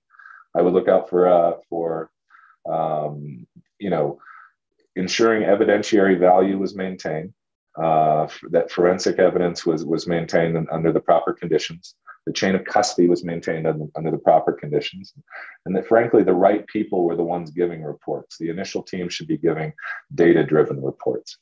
Um, and conclusions and, and investigate great in-depth forensic investigations would come later. I would um, I would do pr- pretty much the same thing. Um, you know, in essence, and that's probably because Sean and I come from similar backgrounds. But first of all, I'd set up a perimeter to secure it. Um, then you have to come up with ways to transport it, safeguard it, study it, analyze it, ultimately exploit it. And of course, you're taking precautions. So, like for example, hazmat. How do you transport hazardous material? Right? How do you protect your people from being uh, contaminated chemically or, or radiologically? Right? And then, of course, um, you want to handle it very much like you would perhaps a, a, TSA investigation of an airplane crash, right? You don't know what you're coming up uh, to, so you've got to you've got to approach it as everything is potential evidence. And so I think uh, you know you, you don't know what you don't know. There's the big challenge, right? If there's some sort of, of, of danger that you're unaware of, well, then you're unaware of it. There's not a whole lot you can do to prepare for something that you don't know exists. Uh, so what you do is you you approach it, you know, in the way that you do know how to approach things that that are perhaps similar. Again, like an airplane crash, and that's that's how how I would approach it. Oh, I'll take. I'll get right into that, man. Uh, the first guy that walks into the the settlement that only has an atlatl carrying a sword. Every person carrying an atlatl in that place wants to exploit that sword. They want to exploit the knowledge of the person holding the sword. What is that material? How did you get it so sharp? How is it so strong? Where did it come from? How do I get one? And that's the job, frankly, of the United States government and the military and other apparatuses. That's part of what they do as part of our national defense. If a MiG crashed in Alaska, which or any other place, and you know the during the height of, height of the Cold Cold War, the exact same team that we're describing would have come in and done the same thing. They would have they would have gotten that evidence, gotten it to a place, said, how the hell does this MiG work? What frequencies are they transmitting on? How fast does the engine go? What's the the load rate, bearing rate of the wings and the weapons pylons? That's what exploitation means. It's and that's why I say semantically, in a military retrieval sense, it means go get the thing and figure out how it works and then figure out how we can make it work to keep our people safe. And that's what it means. It doesn't mean exploit in the negative sense that we often use with, with other conversations. You know what I mean? An exploited individual or something like that, where someone is using them. Because in this sense, we're talking about material. Okay. Material can be used, people should not be used. So, material, theories, things like that. That's what the exploitation is. It's an unpacking and understanding. Yeah, Curt, there was actually just last week, there was a headline in major news outlets about a crashed F 35 that fell off the deck of a carrier during landing. And um, the Chinese and the US were in a race to recover it. Now, why do you think the Chinese were in a race to recover a crashed F- US F 35 aircraft? Well, because they wanted to exploit it. so, you know, that's that's that's not uh, unusual. You know, countries do this all the time. I see, I see. Okay, Euphoric Gur asks to both of you Are you aware of encounters, hostile or otherwise, where different types of UAPs have been observed interacting with each other? I'll uh, I'll jump in first. Um, there, I've said this before, and let me let me emphasize this again. There is a difference between potential threat and hostile intent. Okay, um, you know, if um, there is lots of technology out there that if I misuse it will hurt me, now, is it the intent of that technology to hurt me? No, it's just a product of me not understanding the technology. Um, the fact that we looked at potential biological effects or consequences in ATIP and are continuing now in this new effort uh, in the law shouldn't be a surprise to anybody. Um, should not be confused as hostile intent. People say, "Oh, you're fear mongering." No, it's not fear mongering. You know, if I put my hand in a car door and I slam the car door, my hand's going to hurt. Okay. There's, there's a threat. I'm going to break some bones in my hands and, and, and do damage. Is it the intent of the car to hurt me? No, I just, it's, it's my own fault. I didn't understand how the technology worked and I got hurt by it. Right. Um, and so, you know, there is, there is information to suggest that people have been injured by, by UAP technology. Was it necessarily on purpose? We don't have any information to suggest that necessarily. But then if you talk to people who claim to have personal experiences in this, you know, a lot of them claim to be taken against their own will. Well, that's in my from my perspective, that's crime. That's called kidnapping. And then some people claim that they've been been been touched. Well, that's assault, right? Potentially battery. Um, you see where I'm going with this, right? So, so you know, it's um, it's it's it's a it's a hard question to answer because you can ask anybody out there and somebody will probably give you a, a, a, different answer. I believe this person was referring to the UAPs interacting with other UAPs rather than people. Oh, I, I, I you know, I don't know, like, like fighting each other. Is that, is that yes, what you mean? Yes. Have you, are you aware of that? Like different types of them? Is that what you're yeah, saying? Yeah. I'll reread the question. Are either of you aware of encounters, hostile or otherwise, where different types of UAPs have been observed interacting with each other?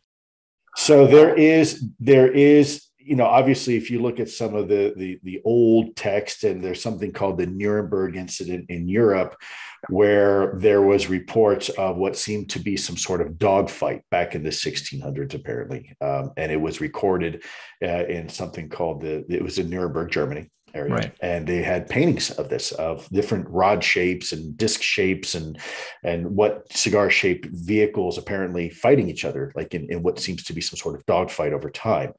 Um, you know, I, I, I can't say that was the case in ATIP, uh, but there is some historical information. Of course, I wasn't there, so I can't I, I can't tell you.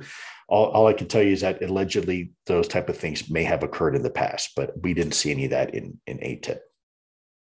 I was going to say the Nuremberg woodcutting as well. And, and other than that, I don't have a really good example. And, you know, and I'm willing, I'm willing to give that one credence. It's an excellent, it reads really well. And when you look at the woodcutting, the to it's very easy to conflate it with modern reports. It, it's a very interesting story. I'd love to know what really happened. I don't know, but um, in general, I've never I've never encountered that in my own work and in my own life. I mean, there's historical, even in, in religious texts, right, where where you talk about uh, the the Vimana uh, in in Hindu texts that would fight each other, um, and even some Mayan text as well of, of, of different crafts engaging each other. Um, there was a very interesting stone that I had the privilege. I have some pictures, actually, very interesting pictures um, that I took in Peru in front of the the Air Force Intelligence Office in in Lima, Peru.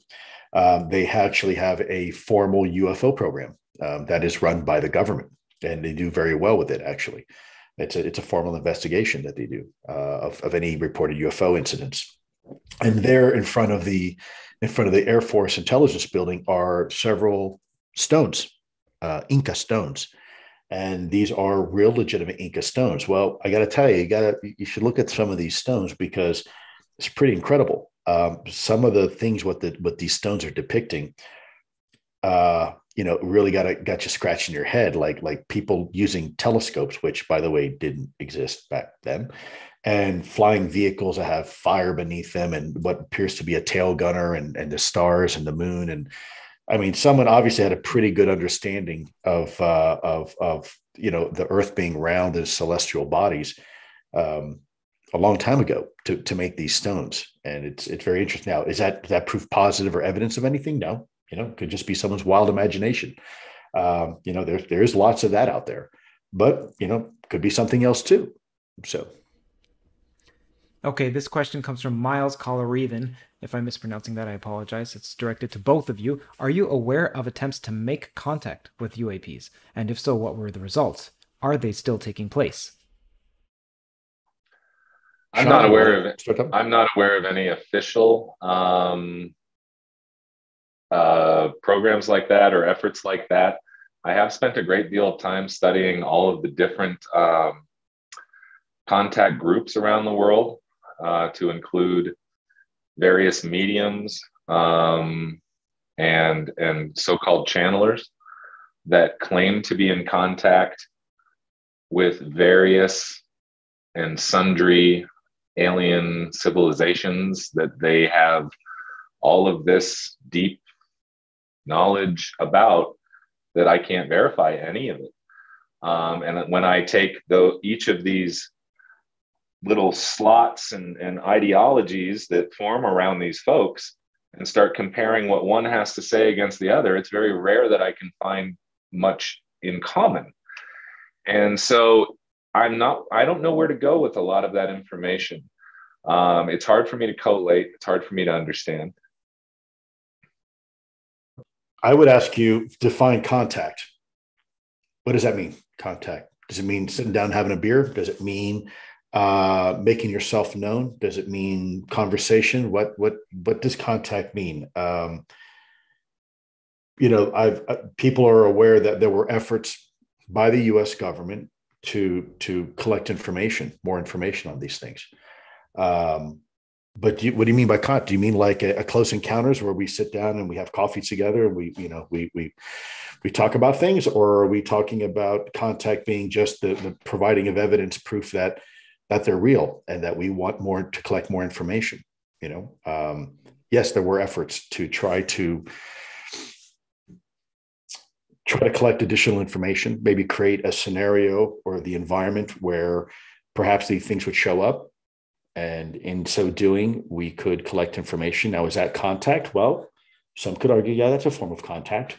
You know it's like the, like like when people say have we communicated? Well that depends. What's your definition of communication? When when I'm when I'm waving to you from across the room, I'm communicating. I may not be communicating to you verbally, but I'm communicating to you. When we scramble an F-22 to go intercept a Russian bear off the coast of Alaska, we're not talking to him, but we're communicating. Make no mistake, we're communicating an intent. So again, when you say contact, um, it, that's a bit broad. I, I, I, need that more narrowly defined in order to answer that question prop- properly. Sure. I'm sure you've heard of a disc that's been sent off into space and it has two people I don't recall the name of it. So someone Boy, it's on the it's on uh, the Voyager, the Voyager. Pioneer right. probes. Yeah, I can't I can't recall which one. Right. Okay. Yeah. And so that was Earth's attempt at trying to communicate with whoever is a, a civilization that may not share our language. Has something similar occurred between the U.S. government or between humans as doesn't have to be relegated to the U.S. government and the UAPs. Something that says, "Look, I'm trying to show you the connection between this symbol and some intent." A symbol. How about that? Communicating with symbols. Let me ask you a question, Curt. Why do we make the assumption that an exterior force is going to make communication with a governmental agency or entity? Why not, you know, and, and, again, why not in a fashion, why not communicate in a fashion that was hard to ignore? You know what I mean? But instead, these seem to be, pardon me for using the word, but clandestine and piecemeal um, when it comes to interaction with the public. And if what Lue's saying is that it's possible that we may have um, created an environment that was conducive to them wanting to appear, for lack of a better word, um, again, it still speaks of of a a missing piece here, you know, um, and, and it is that. Let, let me say, let me say this, and I'm not I'm not indicating that I want to use deadly force, okay? But in my training, when we learned about deadly force, we learned about the deadly force triangle years ago. And that included opportunity, intent, and capability. Now we know that these, these craft have a great deal of capability, and their capability seems to open up a great deal of opportunity for them. But the question is still the intent. And communication, as we said, I, I communicate with my dog every day. I think she and I have very different ideas of what we're communicating to each other and what it means. And so communication is a very broad word. Waving at an at a cow is communicating for me, but the cow may not perceive it that way. Uh, it may not even know that it was communicated with. So, seriously, finding a common language, finding a baseline for this is is we have a lot, and I'm not downing your questions. They're the same questions I have, and you know, and I ask them, and me and my friends talk about the same stuff around the fire, and I'm just being cagey because I'm on a podcast. But the fact is, is we just don't know a lot of this stuff, you know. So I, I, do really try to be careful with with stating my opinion on some of this stuff because my opinion has changed a lot over the years based on the data, based on my own personal experience and growth, and and so it's a I don't know. I just I try to be careful. I'm willing to be courageous, but I try to be careful. Are you aware of psychedelics being used as a channel of communication? I'll tell you that I know that there's a lot of people out there trying to utilize that right now, and they have their own beliefs and they have some certain commonality of experience when we're talking about those that are approaching, approaching it from a scientific fashion, those uh, that are um, connected with um, Terence, pardon me for not remembering his name, but Terence McKenna's brother um, is Dennis? doing a great deal. Yeah, Dennis is doing a lot of great work down south, I believe in Central America, and setting up an institute and a college uh, to study these things, their effects in a pragmatic, scientific, and in fashion, utilizing control groups and, and modern therapy. I think that's very important because it, it, it is the, the undiscovered country of human consciousness, is to go down the rabbit, rabbit hole of, of uh, loss of self, frankly. Um, now, does that tie directly into what we see in the skies and what we purport to and what we hope might be have crashed? Pardon me for hoping a crash on anyone but hoping that there might be evidence. Right. you know we all hope that there's that eventually someday we might find that that smoking gun we all talk about that gives us clarity. But i still don't know if the spectrum we're looking at i feel like our needle goes all over the place all the time because we're using a word like phenomenon. And i think that's important I think I think the the facile idea that we have taken the word UFO and replaced it with some new no, we used a better word because most of the stuff that I am encountering, regardless of whether it's unidentified or an object, it's certainly not exhibiting flight characteristics. And that just gets under my skin that we're constantly saying flight, flying, flying. It, listen, that's a that's a kindergarten attitude to think it's in the sky, it's flying. It's, I'm sorry to say it like that. It, that's not we need folks to to get out of that muck, get get get up get up a level on, on some of this stuff. It really opens up new doors of thought. It opens up new possibilities as to what we're working with when you start looking at it differently and not in the science fiction and as you've been told aspect. I agree, and we, and we need to be more accurate with our terminology. Right, this goes back to what Sean was saying in the beginning, as far as our lexicon. You know, please, you know, be be accurate when you when you speak because it, it you know what words have meaning. And and a lot of people just kind of throw words around and you know they're not really doing their due diligence understanding and it confuses things. And and you know we have to be accurate. That's why science is is t- to where it is today because it involves accuracy. Math right? Um, you want to be accurate when you're when you're describing things like this especially something that we don't know. Be accurate in the unknowns. Um, and i think that's you know sean, sean said it perfectly you know you have flight is a f- fundamental you have four fundamental forces. You have thrust lift drag and weight. And when you understand those you have flight. You have control surfaces you have wings and, and rudders and ailerons and elevators. But we're not seeing any of those associated technologies. And people say oh it's a semantics. No it's it, it is but it's important. It's important right. semantics right Otherwise, just call every animal an animal, right? Forget if it's a blue whale or a human being or an elephant. It's just an animal. Well, no, it's, there's differences, key differences, and we have to be we have to be mindful of that. Yeah, I like to say on this podcast, there's this word that people say with denigration. It's a quiddity. Now, quiddity means it's a hair splitting distinction, but it also means a peculiar essence, an odd feature, an eccentricity, something that sets it apart. And so I'm a fan of delineation of taking what is like ambiguous and what disambiguous. Yeah. Yeah. Yes. So beautiful. This man, some of these questions are so great. This one comes from Chris Pass.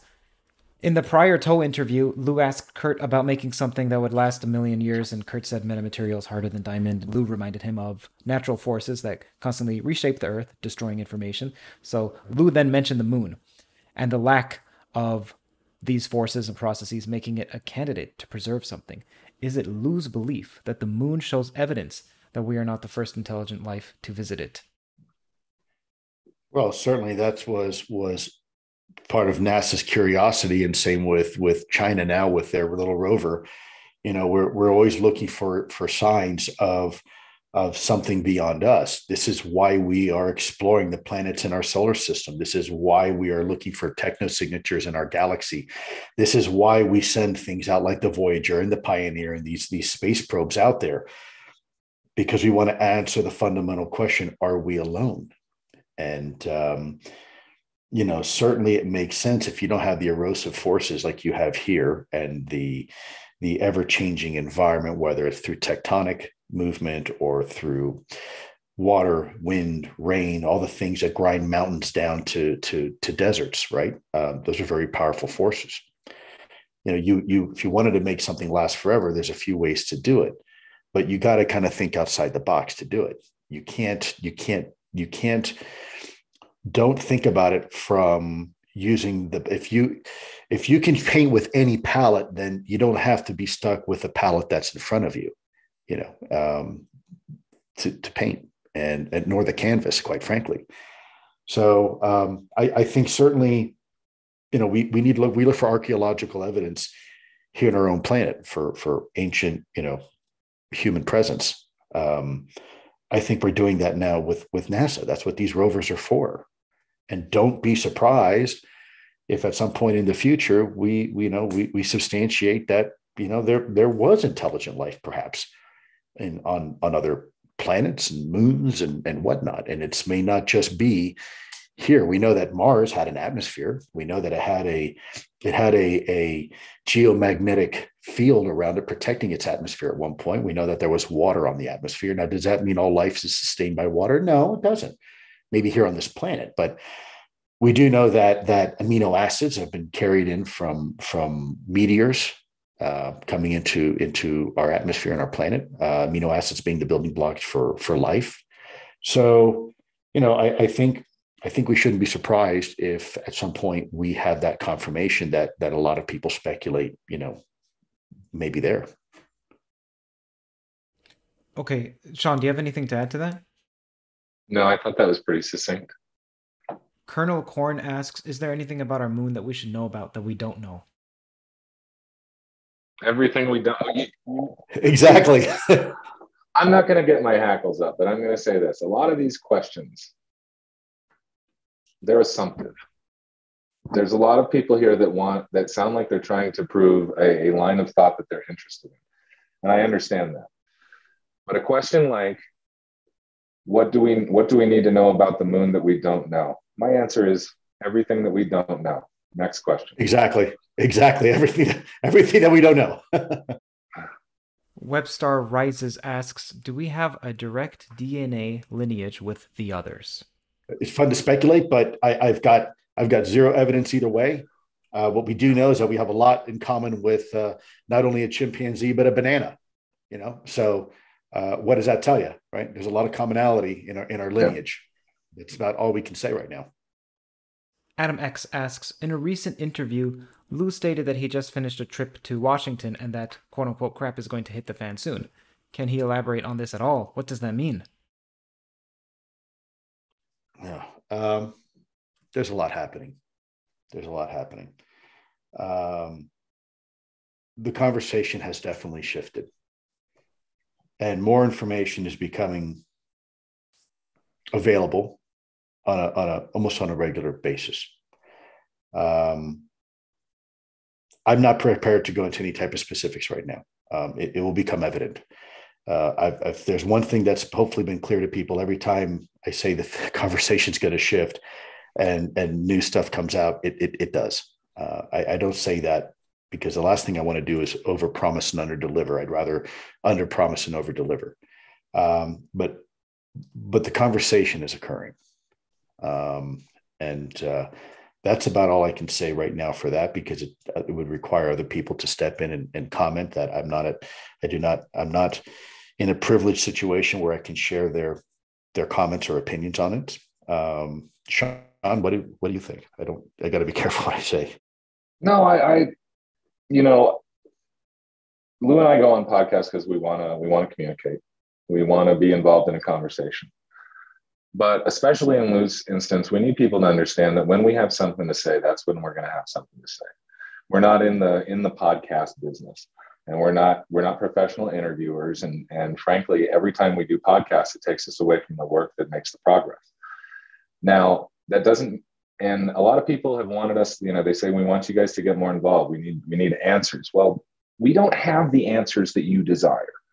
We have we have information that we have accrued, we have relationships we have accrued, we have things we're trying to change, we have a world we're trying to change. But at this point, it's becoming less and less valuable for us to spend our time doing these things when there's so much more that we can be, be doing on in what people call behind the scenes, outside of ufology, away from from the public eye of this.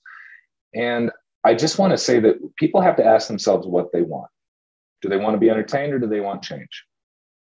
It, it, it is truly that simple because we don't have and, and this is not a this is not me striking out but we don't have time to entertain folks. We don't have time. A lot of these questions i'm not i understand they're interesting questions. They're questions i ask myself. But but for the time we have today they're not and and for the work that we work on they're not valuable. They're not additive at the moment to the work that we're doing they end up muddying the water a great deal because we're, what we're dipping into is a lot of questions about various books and beliefs and ideas in ufology, not what's on the record as evidentiary value. And I, I really want to stop. I want to stop asking or answering questions about what do you think of so and so's book where he had an idea. I don't think much of it. It's his idea. It's and, and I could say that for a hundred other folks because it's it's not the we Lue and I can't afford to sit around the campfire and have a, a, a, just speculative conversation because frankly people assign meaning to our opinions. And that's i'm tired of that. And so i, I, I want to see a place where we can have a conversation that is additive. I know people want to know what we think. It's not important what sean cahill thinks. Okay? It's not important what my opinions are because i think my opinions are garbage it's important what your opinions are at home. I um, I try to distance myself from from from that, Curt, as much as possible. Um, you know, there's so much speculation in this field, and everybody pushes it off as fact. Um, it, it's one of the reasons why I just don't engage. Um, you know, I'm getting to the point. I'll tell you right now. I'm going to start doing a lot less. Um, you're going to notice a huge. I'm, I'm going to do a few more to finish up my obligations, but I'm not doing these much longer. This is it. Uh, reason is because I'm not sure I'm being very helpful at this point. Um, I'm, I'm, helpful behind the scenes, but being like this in public, all it does is serve to divide people. When really my intent was to unite people, bring them together. But the the I don't have time to focus on the he said she said bullshit i don't i don't care about it never have i never will and you know you you you want more of the same then go back to the last 70 years of bullshit because that's what people think you are. They think you're full of shit because you talk about wacky stuff you got no evidence and because he said he wrote a book on something who you know what does that mean? It means nothing. You got to show evidence. You got to you got to you know where the bona fides? Where are the videos? Where's the reports? Where's the the, the, the discussions to congress and the classified briefings they're nowhere because I haven't seen them on the Hill when I'm there. I haven't seen them in DC when I'm going by the Pentagon or anywhere else. They're not in those meetings. So for me to come out and when I, you know, historically, I've always tried to share information and be as transparent as possible.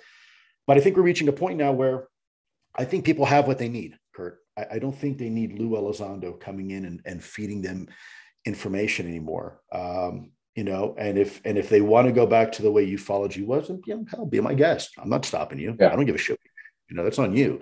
You know, but you're not going to stop me from doing my pursuits because I'm taking this very seriously. And I think, you know, I, I was when I first came into this, people told me, "Oh, ufology eats its own." I'm like, "What the hell is ufology? I don't even know what that is." You know, I'm not a ufologist. I never have been. I never will be. So stop wrapping me into that. I'm not. I am not into uh, ufology. I'm not. In fact, it was up to me. I'd blow it up into a million pieces, as I said before, and hopefully, what coalesced would be something far more scientific, far more objective. I don't know, man. I I, I want us to to build, to be additive, and I and people keep calling me and going, "Can you prove this? Can you prove that? Can you prove this?" And it's like we already did. We already did.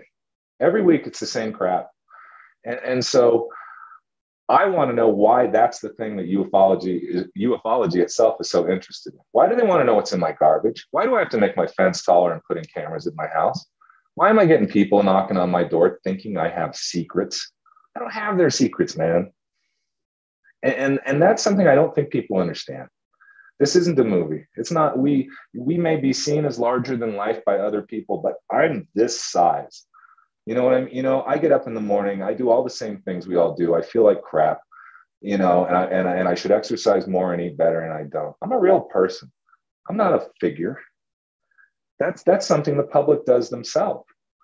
I'm not a, I'm not even a subject matter expert. I'll, I'll go out on a limb and say that myself because we don't have an established curriculum in this. We choose our subject matter experts by by by the, how they perform.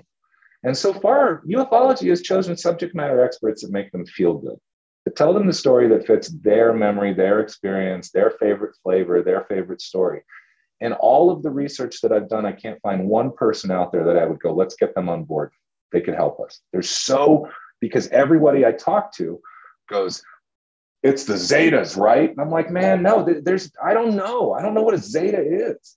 I, I got a book at home with 175 different alien species listed out in it. And it's sponsored by MUFON. And, and it's the most ridiculous bunch of science fiction I've ever seen in my life. And I'm like, why did MUFON put their name on this? Those are, I know MUFON people as individuals, caring, pragmatic, dedicated, investigators. Some of them are amateurs, some of them are professionals. Again, like us, own money, own time, own effort why would they expose themselves to, to Zeb's cornucopia of alien jackasses? I, I, I don't get it.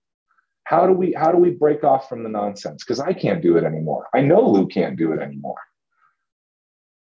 So that's I, would, I would throw that question back to you and, and your and your and your and your your audience. How do we change this?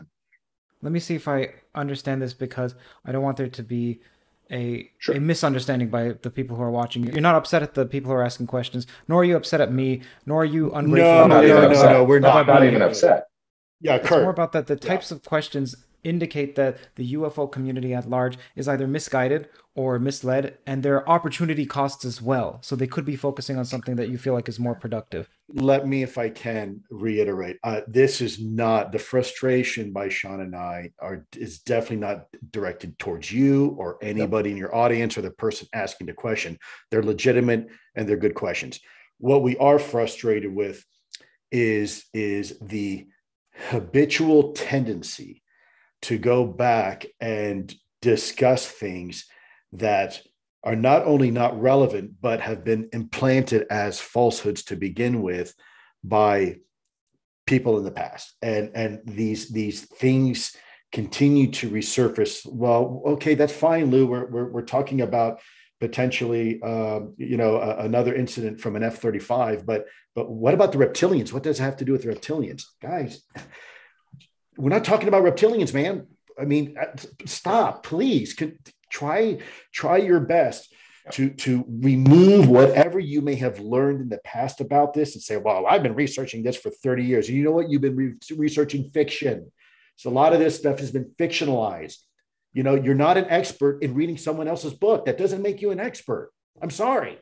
And so you've you've, you've got to you've got to learn to approach this a little bit more objectively and this is why we are loathsome to offer our position and perspective because at the end of the day, I don't want to be guilty of the same thing. It doesn't matter what Lue Elizondo thinks. It doesn't matter what Sean thinks. What matters is what you think. Here's the data. Here's the facts. You figure it out for yourself. What this means to you, what to your religion, your culture, your philosophy, your psychology, sociology, and everything else in between. How, how you identify with this information is up to you. It's not my job to tell you what to think about. My job is simply to provide you the information and the evidence, and you figure it out for yourself and your family and your friends and however else you want to do it but don't superimpose that on me. Please don't do that. Yeah. I don't do that on you. Please don't do that to me because it's not fair. And it's, I think it's a distraction to the bigger conversation we're having. I cannot, every time I, I look at social media, I am blown away at how people behave and treat each other and mm-hmm. and the self delusion i mean i have people that are making up entire conversations they've had with me that i've never I've never spoken to the person in my life, and they're going around, and it's it's not healthy. It, it's it's and then, not healthy. And then those require numerous tweets and backpedaling, and it's it seems like that's the that's the desire of certain folks is to make sure, just like a lot of folks would observe in our own society, that if you create enough chaos, it creates a system that you can exploit and that will be self perpetuating and at this point, and Curt, I'm not I'm not accusing you of this. I'm not accusing your audience of it. I'm just I'm just taking a chance at this point to Let say. hit the bathroom real quick. By the way, go ahead. I'm not ducking out, but I got I got to use the bathroom. This is this has been really tough for us because it's it's a tough decision to decide whether or not to participate at the level that folks want because we want to we want to keep talking to everybody. You know what I mean? But I'm not getting any work done when I do this. So I'm not attacking you guys, your audience, man. No, we can. I please, didn't feel attacked. Going. I just, I, yeah. I have a feeling some people would think you were attacking, so I want to clear the air. A lot of people are triggered very easily. A lot of people get very offended when they don't hear what they want. I'll be, I'll come out and say that people in our community, our larger community, have some pretty skewed expectations. They have a very, they have an immense lack of those who didn't serve in the military have no clue what it's like. Those who haven't worked in government service have no clue what it's like I had somebody recently ask me, "Do you have any any pay stubs that say you did the following?" I'm like, "Man, my pay stubs say USN for the last 20 years. I was in the United States Navy. They never said chief petty officer or interrogator or or or you know police officer." And we spend a lot of time answering dumb questions like that. People don't even know what they're talking about. I'm going to put it just like that. I'm not talking about your audience. I'm just taking a chance to say why we're frustrated with some stuff because I would love I mean, we talked about having a couple of beers and having a having a groovy, you know, kind of esoteric conversation. But I gotta say that the way that some of these have been formed is, I don't believe in gotcha questions. There's a, there aren't gotcha questions. There's gotcha people. There's people that get got and don't take the time to answer a question utilizing their acumen, or there's or there's people that you know that take their time through it. But are they useful? And we're just encountering so much non-additive um, interaction at this point because we're saturated, saturated with interviewers, saturated with you know with questions and stuff. And so it, for me, that I just want to get across to people that we're we're willing to work as hard as possible, but it's at some point we have to decide whether our work, the work that we're doing, is is um, is additive. That's the word that I use most often. So.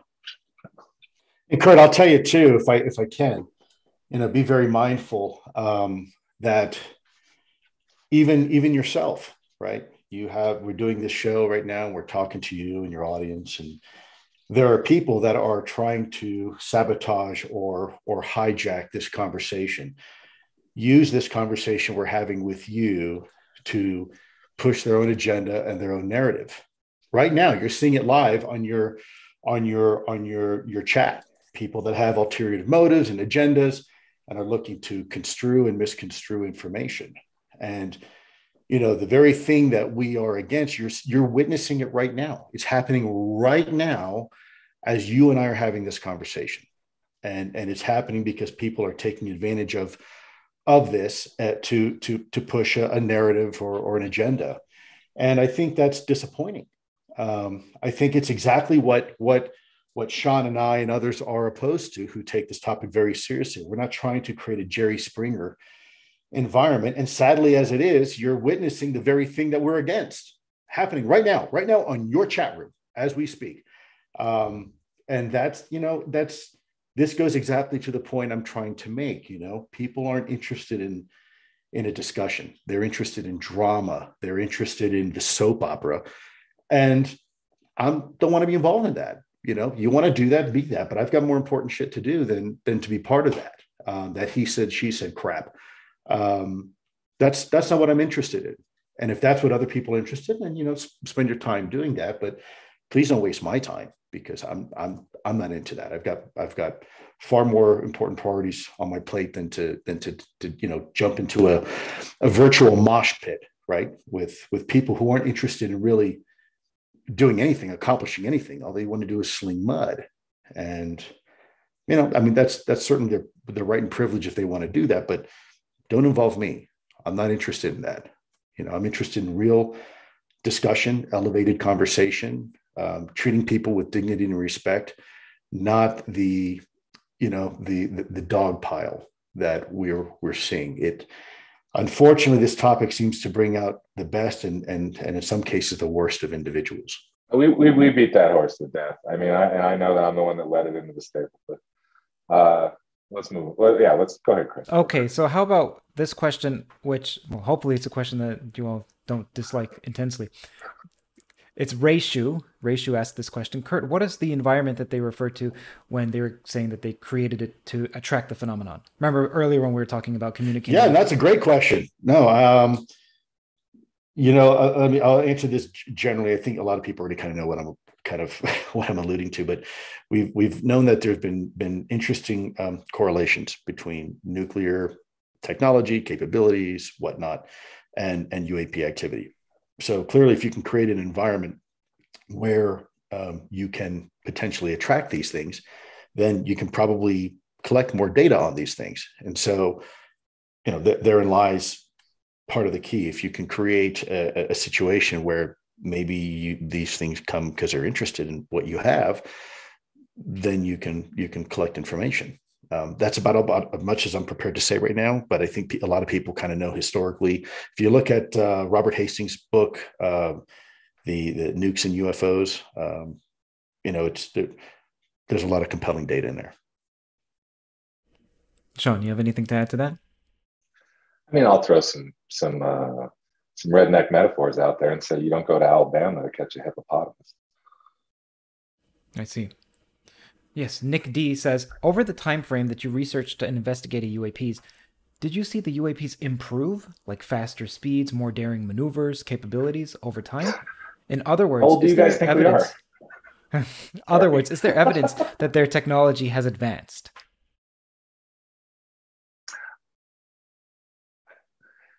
It's it's one of those. It it assumes that I have observed. You know, it, it assumes a lot, but um, nope, not in my lifetime.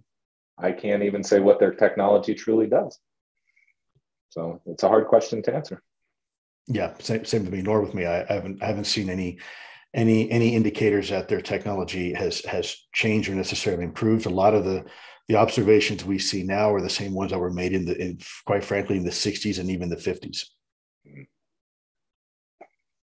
Blaine Todorian asks in the GQ interview, Lue, you mentioned that a pilot experienced 30 minutes go by on his watch but only consumed 5 minutes of fuel in his jet. Did you happen to find any corroborating evidence in the form of fuel log, discrepancies, or chronographic anomalies on the jet? Any tips for forming a FOIA request on this? Yeah, there's there's actually been been several experiences like that reported by by eyewitnesses, uh, military sources. There's one very compelling. I won't say the person's name, um, but he was on a mountaintop and um, felt like just a few minutes went by and uh, five hours had gone by. Uh, you know, this is the whole missing time, right? Uh, pe- the observation that some people report to have that that uh, what appeared to be just a few minutes in reality was much much longer. And there's also a lot of reporting from foreign pilots as well and foreign uh, military personnel. So this isn't just a U.S. thing. There's, there's other individuals who have have experienced this as well. The problem is very hard to reconcile um, because you know at, at some point, observ- human observation is subjective. You know, um, and uh, I think I think we have to be careful. I, th- I think it's a data point, but as as Sean likes to say all the time, at the end of the day, it's just a data point. Um, you know it, we it's it's in the collection of many many data points that allows us to create a much more comprehensive picture so i'm always careful not to just use a single data point and that's why from the perspective of AATIP the observables were so important because you had five distinct actually six distinct observables that when put together painted a very compelling picture. You know one could say well we have hypersonic vehicles or we have vehicles that can do instantaneous acceleration or low observability but we don't have one that can do all five right? And so that's when it becomes very compelling. And the same thing with the with the biological effects. In this case if you have missing time then then that is potentially a biological or a psychological effect. And that's something that you now see in the in the law. You know we have to we have to report on biological effects Recently, this is a question that I have. George Knapp revealed that Area 51 has a multitude of names, like Paradise Ranch and The Ranch and Red Square. I wrote a couple of them else down. St. Elsewhere, Home Plate, Homey Airport, the site. So, have you heard of these, and can this information be used for a FOIA request? Curt, I lost you entirely here. For some reason, my my my headphone went out for a second. Can you repeat that again? Worst comes to worst, happens again. I'll switch to these these ugly things. George Knapp revealed that Area 51 has many names Paradise Ranch, The Ranch, Red Square, Home Plate, etc. Have you heard of these? I assume that these were governmental names. So I'm curious if this information, if it can be used for a FOIA request. And also, why do you think it has so many names? Does it mean that there are multiple government organizations operating there? I think all information can be used for FOIA. Um, you know, we have we have names for New York, we call it the big city. We call it the big apple. We call it all sorts of things, right? Um, you know, organizations over time, you know, give give names. Some of it's for real reasons, like OPSEC, we call operational security. You know, if you you want to keep saying, uh, you know, people that were in the CIA, you, you know, of course I can say this, but everybody will say, oh, you know, he he's with he went to the farm, right? The farm is it's not really the name of it, but that's what you call it. You know, uh, same thing with Area 51 or Groom Lake or you know whatever nom de jour you want to use. Um, there's lots of reasons why people do that. Um, some of it again is for true operational reasons because you don't want to use something's real name and you want to use it in conversation. And somebody who's also read onto something, you can, you let's say Curt, you and Sean and I were part of a, a program, and you can't ever say the program's name, so you you call it something else. You know, hey, we got to go talk about the elephant tomorrow and elephant being you know a code word for the program right and so those are the type of things that that are that are quite common especially in the military when you're talking about military facilities and organizations it's super super common you know um, like for example when i was in in in in the army in uh, in um, in Korea, South Korea. Uh, you you know we have it. Uh, you have the second ID, Second Infantry Division up on the DMZ, but we called it the Deuce you know, was it that its official name? No, but everybody referred to it as the Deuce. Um, it's it's it's quite common. Sean, you you got a any? I'd say foil what you like and see what you get back. I mean, I would ask them if they have any interest in what area one through fifth through 57 are called as well, because all of those test ranges exist too. I mean, I don't know what the exact number is, but area five one was not picked out of nowhere. It's a, it's a grid marker. So and it's is it a test facility? It would seem that that's been acknowledged during Bill Clinton's administration. Aerial photos were the first, you know, came out for the first time, and that's how we got into the idea that Area 51 was even a real place, um, and that it was a test range. But past that, I can't. I don't know. I, I appreciate George's work. Don't get me wrong. I would never in a million years down anything. George is incredible. He is an edifice to this subject. He is one of the most valuable intellects and and archives and has some of the best understanding. of anyone around here. So I think that if George Knapp found a, a bunch of names that were associated with, with the Nevada test site, if you are into FOIA, I think that's a good person to look to to find keywords. But but beyond that, I don't know what Area 51 does beyond test aircraft at for Nellis Air Force Base. And yes, I know that there are certain terminals and airlines and all these other things that like to go back and forth. But again, stories. I don't have proof. If I had proof, I'd be on, I'd call you up, man. We'd have a really cool show if I was like, look, bro, I got proof. You know, and so I won't talk about it like I have proof until I have proof. Okay, this question comes from Cyprian Siganik. Among all the UAP incidents you've investigated, which one stands out to you? For me, uh, it's the 2004 Nimitz Tic Tac incident because we have the most comprehensive um, multispectral data on it. Now, do we have access to all of that? Nope. But we at least have the rational stories, or excuse me, anecdotes, and and and, the, and a certain paper trail to follow that says that those tapes were taken. And so the first thing that says to me is in 2004, there was a program running that was ready to respond to incidences like this, at least to debrief and retrieve uh, ELINT data.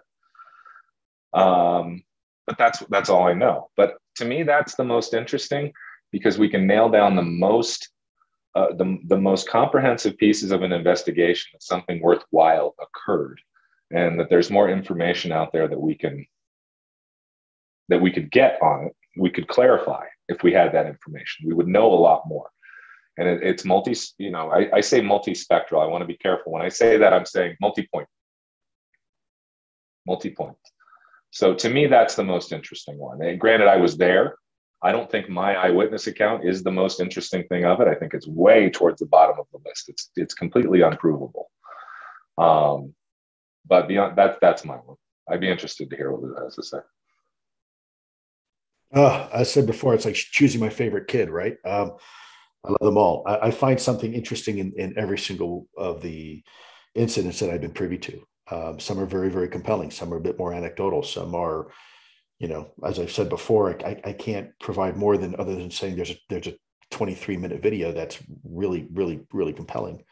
Um, you know, those are the ones that leave you really scratching your head, saying, "What the hell did I just see?" Um, you know, I, I, my, my hope is that some of, these incidents become more and more um, prevalent and, and people in, in office, particularly Congress, are successful in getting some of this stuff declassified, that some of the more compelling videos and incidents will become more public public knowledge. And then and then you can have that conversation right? Then i can ask you the same question. What which one is your most compelling incident? Right now they're they're there's there's so many of them, and there some of them are just truly baffling. Um, but you know, unfortunately, there's there's well, most of it I really can't can't talk about yet in the in the public sphere, which for me is very frustrating. Sure. Which one stands out that you can talk about? Would it be the Nimitz as well? Well, the Nimitz was certainly one of the most comprehensive investigations. That thing went on for a while. There were several investigations. There's a lot of documentation, reporting on it. A lot of it was made public um, I think it's you know it, it's it's certainly one of the gold standards for for the U.S. government as far as investigations. Um, but there's there's a lot more. I mean, there Chris will tell you the story about him seeing an email um, from somebody, this very senior ranking person in the Navy, basically saying, "I got these things all over my ship. What do you want me to do?" you know, I can't keep people below deck forever. I mean, people are going to see these things. How do you want me to, to, what do you want, what do you want me to do about this? Right. Because I, I'm they're, they're, it's very prevalent and, and I, this is going to be, this won't be able to be kept secret for very long. So, you know, that's an example of, of, of just sheer frustration. In some cases, you're like, you know, we, we've, we've got to get a handle on this. We, we really do. We got to, we got to figure this out. This is about the ocean. Casey Price wants to know regarding USOs, so unidentified submerged objects. Have you seen underwater photographs or video that support that they exist? Well, first of all, photographic evidence underwater is a much different story than photographic evidence in the sky. Okay. Um, first of all, water is opaque. Water is very dense. Light doesn't travel very well. In fact, uh, in a, on a very crystal, crystal I'm, a, I'm an avid scuba diver. On a crystal clear day in some of the best Caribbean waters in the world, your visibility is maybe 120 feet if you're lucky, um, and that's not really that far if you think about it. You know, it, it is when you're diving, but but it's not really that far. And so so we have to rely on other technical means to to to if you will see virtually underwater. And we use things like sonar. We use very much like we talked about earlier uh, the same principles that that dolphins use to echolocate. We do that as well using submarines and ships and we can see below the water virtually right? We're not actually seeing but we're we are creating an image a virtual image that allows us, you know, to to see the bottom of the ocean and what's in between, whether it's through side scanning, sonar, or or other means. Um, the problem is that sound also travels only at a certain speed underwater. So you're only going to sonar can only pick up and be used to to to pick up objects um, that are going at least as fast or slower than the sonar signals. Otherwise, it outruns it, right? And you never you never catch up. So there's limitations. Um, and that's why you have the quote unquote silent service of submarines, why they're so stealthy, because you know here you have basically uh, something the size of a you know skyscraper underwater that no one ever sees because it's hard to see underwater. Um, now, does that mean we have technical data, um, you know, beyond just you know images, for example, what you might see underwater? Yeah, there seems to be some pretty compelling information down there to suggest that that UAP may also be related to USOs, um, and that the two may in fact be very, very relate, very much related, and that objects that are flying in and around our, our skies, well, flying, that's not really the right term, but in, in and around our, our atmosphere, may also have the ability to perform uh, um, similarly underwater. And this is where the transmedium travel piece comes into as far as the five observables. Things that have the ability to fly with the same performance characteristics in our atmosphere as I can underwater and possibly even in space. Um, you know, we, we, we do have technologies that are transmedium. We have, for example, a seaplane. You know, a seaplane can fly and it can also float on the water. But let's face it, a seaplane isn't really a good aircraft or a really good boat. It's a compromise because in order to operate in more domains or more, more environments, you have to you have to accommodate more things more considerations and there's always sacrifices performance sacrifices associated with that um, and that's why you would never expect a seaplane to to fly like an F-22 or or operate like a uh, like a submarine um, because it just can't. It's just just too much. And yet, that's precisely what we're seeing here in some cases with with these UAP. Curt, in the Navy, we have a term called scuttlebutt, and it's something that, in general, the leadership tries to cut down on scuttlebutt, but it's rumor. Um, and so what I'm about to give you is scuttlebutt because I won't give you names and I'm not going to out folks and I won't even say what platforms I talk to folks from because you could easily trace folks. Not you. I'm not saying you would either. I'm just not going to. One getting trace, yes. Yeah. But I've talked to my um, numerous senior uh, enlisted leaders, sonar tech, sonar technicians, and it's practically you know they'll look left, they'll look right, and they'll be like, "That's an open secret." We all know there are USOs. We all know there are things that are, we're picking up on sonar, just like your radar techs are like, yeah, we've all seen UFOs. You don't talk about them. You just keep, you know, you talk about the, the aircraft in your pattern, make sure there's no safety violations and everybody laughs it off. And, and you know, some people don't even make log entries. The sonar techs are going through the same thing. I, so I'll throw that, it's scuttlebutt. I you know, I can't verify it. I'm not going to haul any of them up here on the show for you. And they already told me they don't want to get involved. They got their they got their own jobs. They're not willing to risk any of it for this stuff. But the word on the street is it's an open secret. And what a couple of the guys have told me is we're told to log it and dog it. And what that means is is you in some cases in the old days it meant you put it in the the log and then you you lined it out, so it was no longer an official entry. Um, in this case, it, it is morphed into don't even write it down because they're not going to do anything about it. Now, that's, as I said, that's scuttlebutt, that's rumor.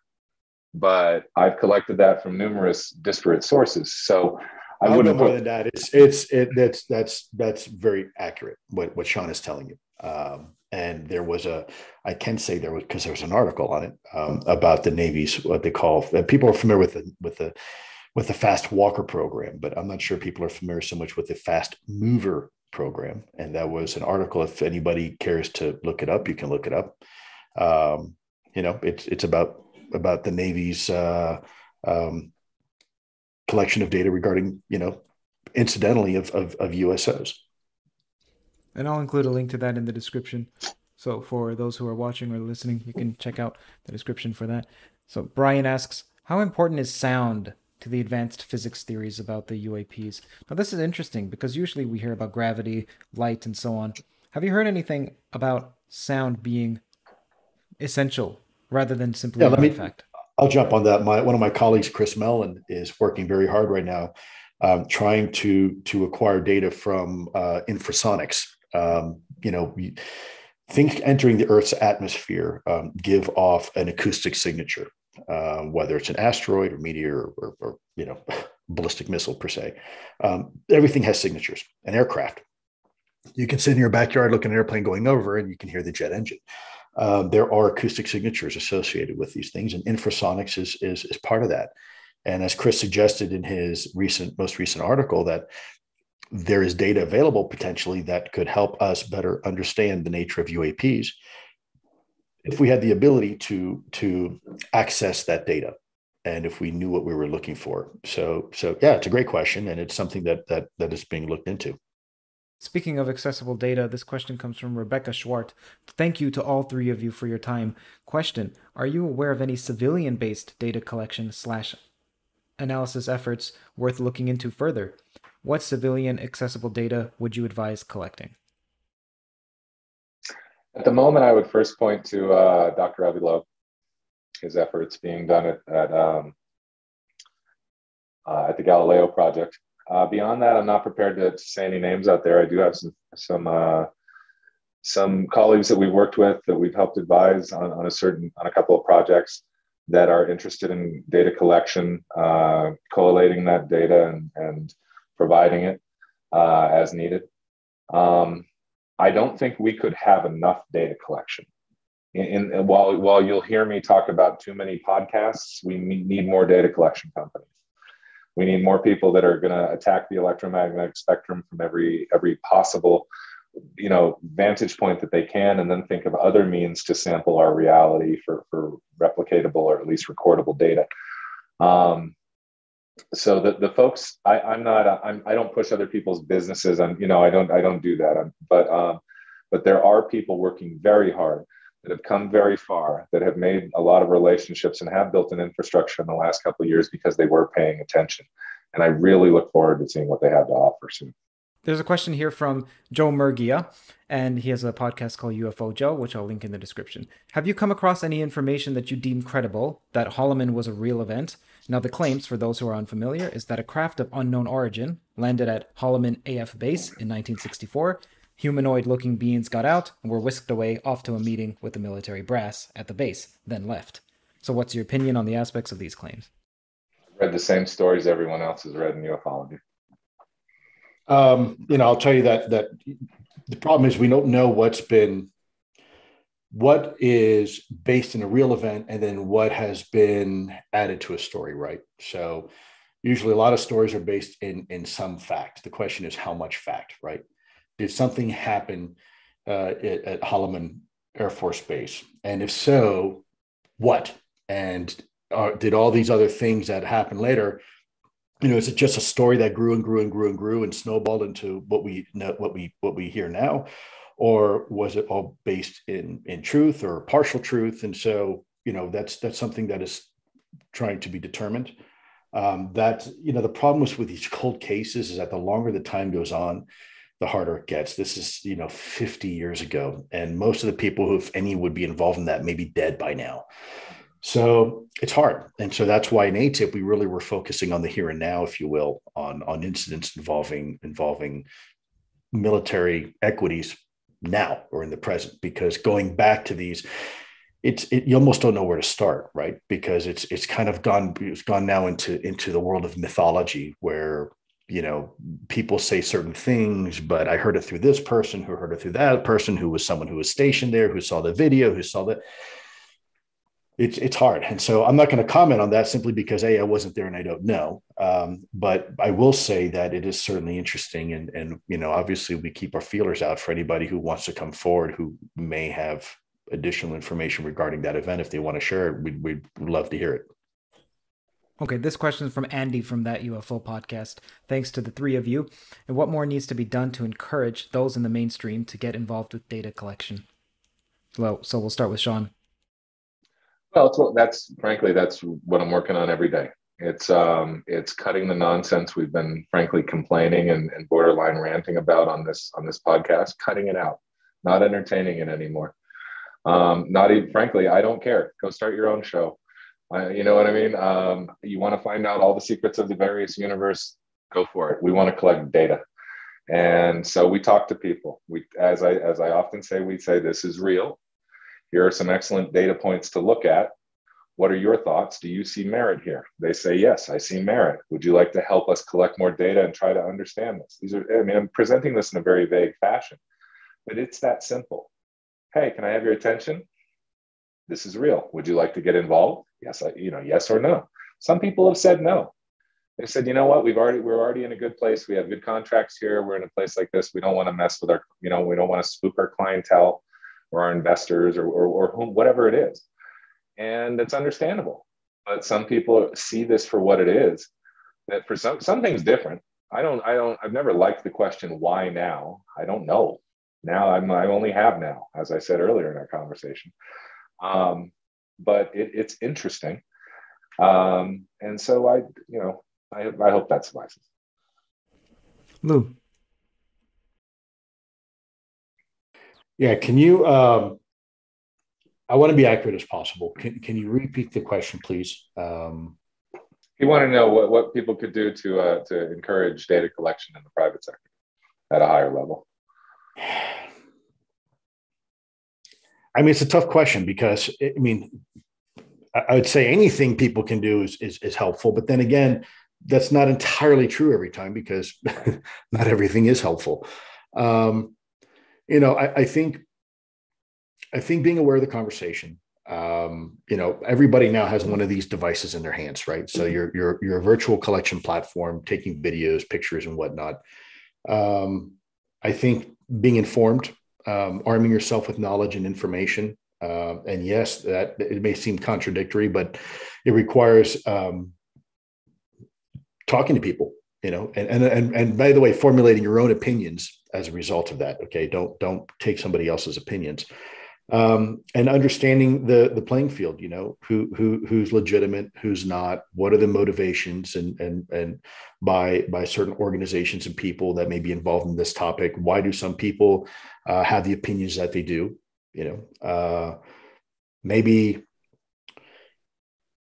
you know, it, it, it's it's hard for me to say because you, you're asking people to teach themselves, and they say, okay, well, teach me how to teach myself. Well, then again, if I do that, then we fall into the same you know pit we did last time, where I'm teaching you what to think and not how to think. And so, um, I, I don't want to be overly prescriptive. Just be curious, be yourself, ask the questions.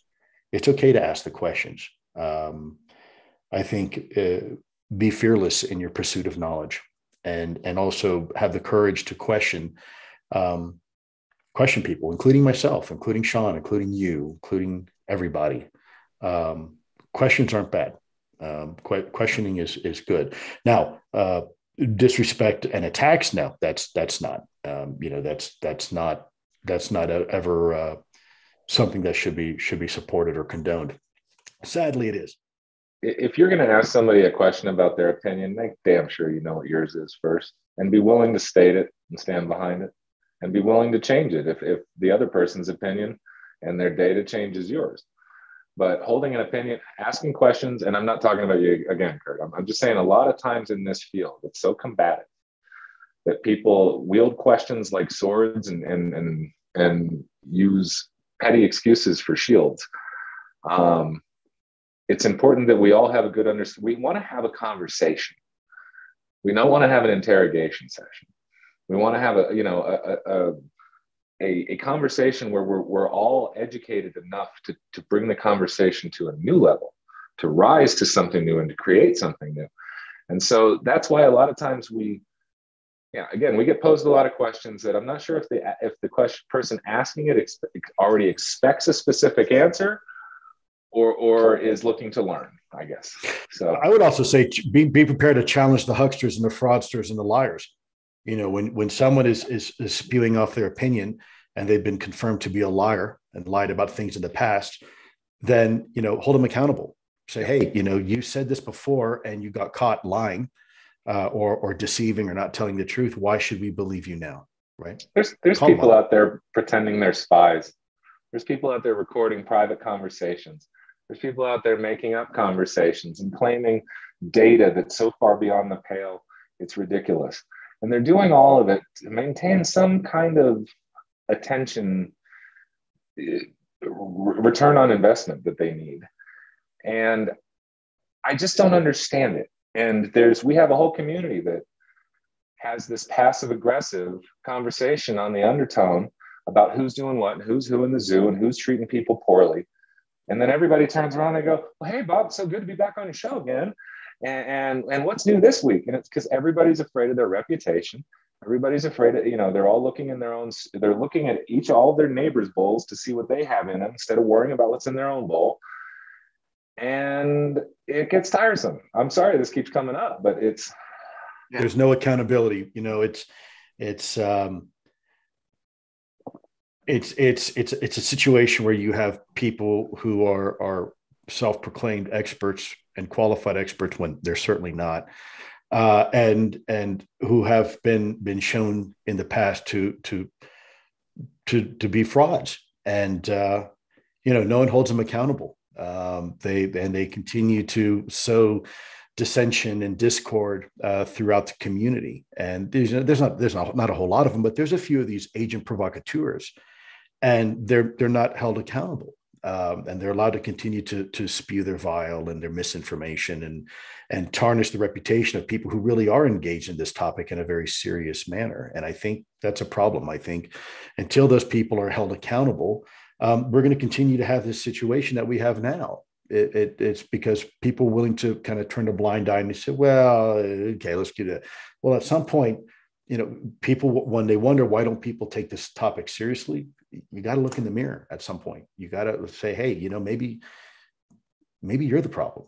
Maybe I'm the problem, right? And um, it's it's hard to do. You got it, but but holding people accountable and holding yourself accountable is, I think, very very important. You know, every time I make a mistake, I try. The first time someone brings it up to me, I like try to get online. Hey guys, listen, I I, I, I made a mistake. You know, let me let me clarify our caveat. Um, we've got to hold ourselves accountable. Um, and, and I, I, almost guarantee you, if I can, that, that that somewhere, whether today or tomorrow or in the chat or whatever, someone's going to say, "Well, why don't you just name the names and do the thing?" Look, I'm not here to hold people accountable. I'm here to advance the conversation. I don't. Have, if I start, if you want me to hold people accountable, cool. We'll put the whole conversation on hold while I go into a freaking legal slog for the next ten years of my life, holding those people accountable all by my damn self. Okay, the audience needs to hold each other accountable self-policing our peers is the fir- is the first part of, of, of our of our society. I mean, come on, even in the Navy, I, I, was a, I was a master at arms. I was a law enforcement officer on board a ship. Why did we need a law enforcement officer? We had a leadership structure. They should have been taking care of all these things. But in the end of the day, we're all just humans. We need we need police, unfortunately, at some level. Whole nother societal argument. I don't want to peel that crap off, but um, I just think we can. What we're talking about here is is look. There's people. There's you don't need your subject matter experts to be generalists.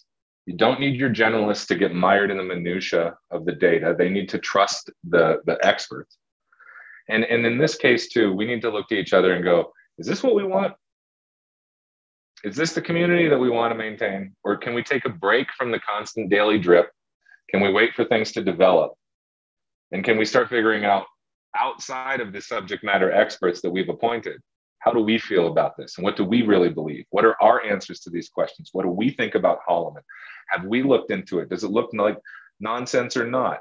The next person who tells me, you know, the moon's hollow, oh my God. I, am just like, could you could you start somewhere else with me besides, hey, did you know the moon is hollow? You know, teach to show me that you've done your research, and and we don't have a baseline for that. So, yeah. Let me jump in here too. Let me give you a real case scenario about holding ourselves accountable. Okay. Um, I don't have your chat on here, but you know, you ask perfect case in point. You ask Sean and I to come on and and drink a beer for your show. Okay. Um, so I thought it'd be fun to grab this. Now, what you don't know and your audience doesn't know that last night I emptied this out and I filled this with apple juice, right?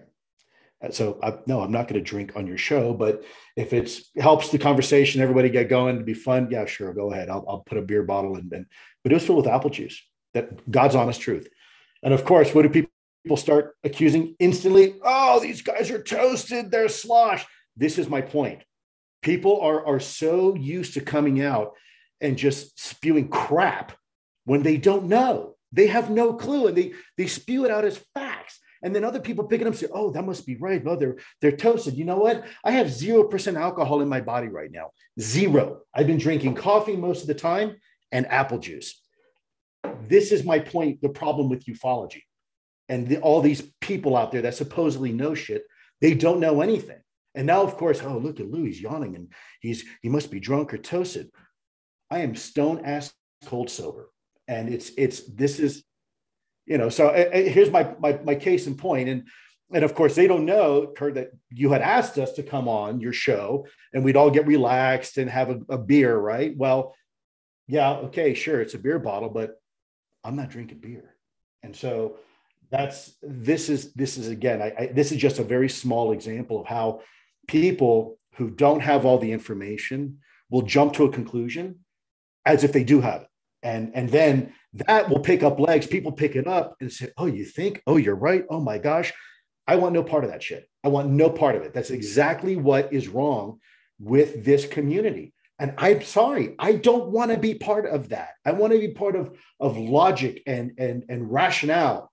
I don't want to be part of speculation and innuendos. And I think or I maybe or I'm not interested in that.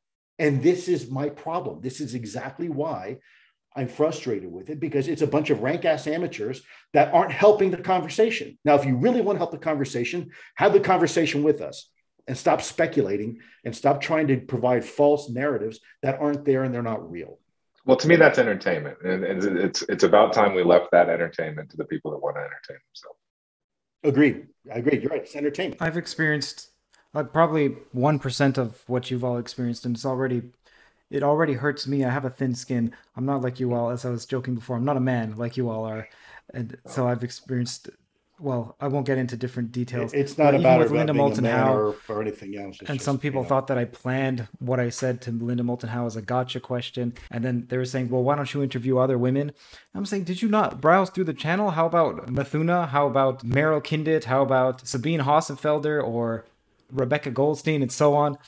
And then I feel like, oh, and then I'm justifying myself, and then that makes it worse because it gives they don't see it as as they're not terribly interested in um, and I'm speaking extremely vaguely when I say they, because some people are. They actually just are questioning, and, and maybe they're just incorrect, and maybe they're passionate, and and that's and that's fine. But some people, they want to get you, and they probably already have a reason to dislike you. Well, I'm also just speaking about myself, even though I'm using the word you. But anyway, no, you're pretty for that. I'm, I'm, I'm I'm following. I'm tracking. Continue, please. Yeah. yeah. You know, it's not a pleasant place to be. I don't like it, and I, it affects me deeply. It affects me a bit too much. Like I get both anxious. you and Linda, to an extent, are being pushed from both sides by an angry mob. There, there's an unfortunate aspect when you reach a, a certain level of, of exposure. Uh, unless you're going to put some kind of Gestapo-like filter on your on your chats and things like that, you're going to be exposed to people that are going to do things like that. And um, I'm gonna I'm gonna bust your chops for saying you're not a man. You're most certainly a man. Don't don't do that to yourself, my friend. Um, but beyond that, I'm gonna tell you something. When I'd I'd rather have your thin skin because mine's scarred over. I'm not I'm not quiet or calm. I am. I am. I'm I'm beaten and bruised by this stuff. I've had friends of mine people who were formerly my colleagues and my friends try to hurt myself and my family and dox me on the internet on 4chan and put my personal information out there. So my phone number is useless if I want to keep it. And I'm I'm not going to write an article about that, man. And I don't want to talk about that for too long on this show. But I'm tired and I'm hurt, and I'm going to keep working. I just may not keep doing it on a camera, you know. Um, yeah and you've got you know at some point you've got to ask yourself too all of us do why are we doing this and if i'm able to if it turns out maybe I'm doing it for the wrong reasons or the wrong people, am I able to tailor that back and still maintain my own integrity? I hope so. Yeah. Yeah, it's something I think about plenty. And there's also this question that sometimes people, or an accusation more than a question, which is, don't you have a responsibility to do X? And usually those come from people who don't have a large platform and they'll say, well, look, you have a large platform, so you have a responsibility to talk about X or to not talk about Y. And that, that's so tricky because. Who, yeah, who, who determines my responsibility? Right, right, right. There's that. And outside of something that's legal, like a signed document, it's difficult to say that you're responsible for something. Although I do agree that most of the time, whenever anyone lays that upon me, I do think that I am responsible for most of what they say I am responsible for. Like I'm responsible for putting out positive and constructive information. I don't think I am, and I think I'm failing in my responsibility at almost all of what they say. It's just that I don't know how to live up to all of that. And I also feel like sometimes some people want me to say, yeah, but this guest said so and so, and that's false, and don't you want to correct that? And I would love, actually, I'm thinking about putting in a corrections segment to the introductions of the videos. But also at the same time, if I spent my time constantly correcting, I feel like then someone would say, Aren't you failing in your responsibility to provide new information now? So there, there are opportunity costs associated with the responsibility, and it's almost, I feel like every individual has infinite responsibility. So I, that's why I feel like what they're saying is true. And I, I, I just say that I'm failing at my responsibility, and I don't know what else to do about that other than to follow my own curiosity and to try to be honest and earnest and that's what I try to do. And that's why some of these questions I'm asking you, you see what's wrong with them. But for me, I'm such a newcomer that I'm, I'm like, well, what's a big deal about these questions? I think about these questions all the time. So I'm just trying to be honest and earnest and, and oh, hopefully loving at the same time. That's all I can do is follow my own interests. I know Sean's going to jump in here in a second. Let me just say real quick, Curt, first of all, you're doing a great job. Second of all, don't forget everybody loves a show. Okay. Um, there's a reason why gladiator fights were so successful in Rome. Uh, part of it was a control mechanism to control the masses, right? Give them circus, give them bread. Um, human beings are, for whatever reason, attracted to conflict. Um, I don't know why.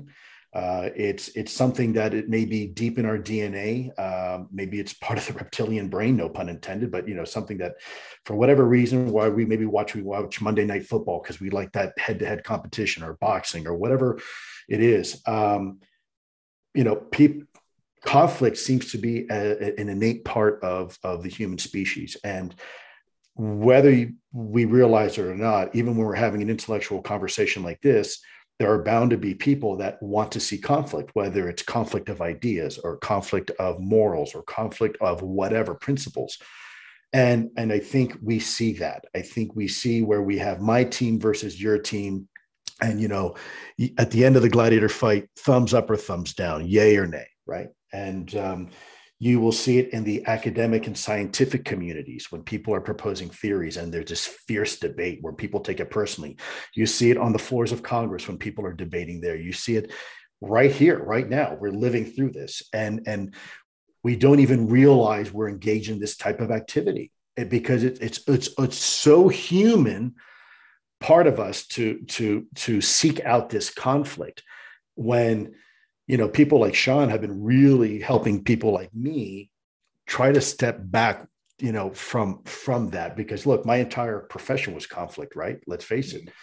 Government, military, intelligence. Your job is to to outthink the enemy and win. And let's face it, the you know the the the war the the rule of war isn't to to create peace. The rule of war is to kill more enemies than they kill you. It's, it's a very violent, brutal act. And so it is part of what we are as a species, but let us recognize it and let us control it rather than it allowing it to control us would be my my suggestion. And of course that's a topic for a whole nother discussion at some point maybe down in the future but how do we how do we remove ourselves from this this this this this self generated conflict and rise above it? So sean what do you think Curt, I just wanted to say to you, man, that I really feel something you said because I heard it in your voice and I saw it in your face. That people are telling you that you've been that you've been um, that you have a responsibility. Now, I, mean, I want to break that down. They're saying you have that you're holding a responsibility. And I say, no, you have. Responsibility comes, first of all, responsibility is taken. It's not given, it's taken. You've been offered opportunities. These people see that you've been offered opportunities and they feel a certain amount of, of, of righteous jealousy towards you. And they, they're saying to you, I'm not strong enough to do this. Somehow you've won this lottery. So you have a responsibility to carry out how I feel in my stead. Bullshit. You've been offered an opportunity. Your heart tells you where you're going to take responsibility. And then you give your whole heart to it. You give your whole acumen to it. Nobody's Superman. Nobody has everything covered. You know what I mean? So you have you have to do what, what's what's best for you. And you can't let you can't let people tell you you have a responsibility. What is it? Where is it? Is it is it on the counter or is it is it hanging up with the coats? Because I missed it when I walked in. I found my jeans, my wallet, but not my responsibility. You know, so pardon me for being kind of a smart aleck there, but but I see that you're under you're under the same kind of strain that we are, man. You you and and you may walk in front of the mirror and say, I have a responsibility. But nobody else should be telling you you have a responsibility besides your spouse or your children. I agree with that. And Curt, listen, it's this is something that you're probably going to face a lot more than than than most. Um, and this goes for anybody in your audience too that's under something similar. Okay, so this advice isn't just for for you, Curt. And as you know, I don't offer advice very often. Um, and it's advice I have to give myself, and Sean has to give me, and close friends of mine have to give me constantly, and my family. Um, at the end of the day, you know, you're, you're doing what you feel in your heart is right. And um, people are going to ascribe all sorts of things. And by the way, there are some bad people in this world. believe me, I've, I've, I've, I've, met some of them on the wrong end of a gun. Um, there are truly some, some bad people in the world, and they will, uh, whether they're on the battlefield or in cyberspace, they will, they will make themselves known and they will do whatever they can to hurt you. Um, and this goes for people in your audience who are experiencing the same thing. There are, they know there are people out there that want to hurt them.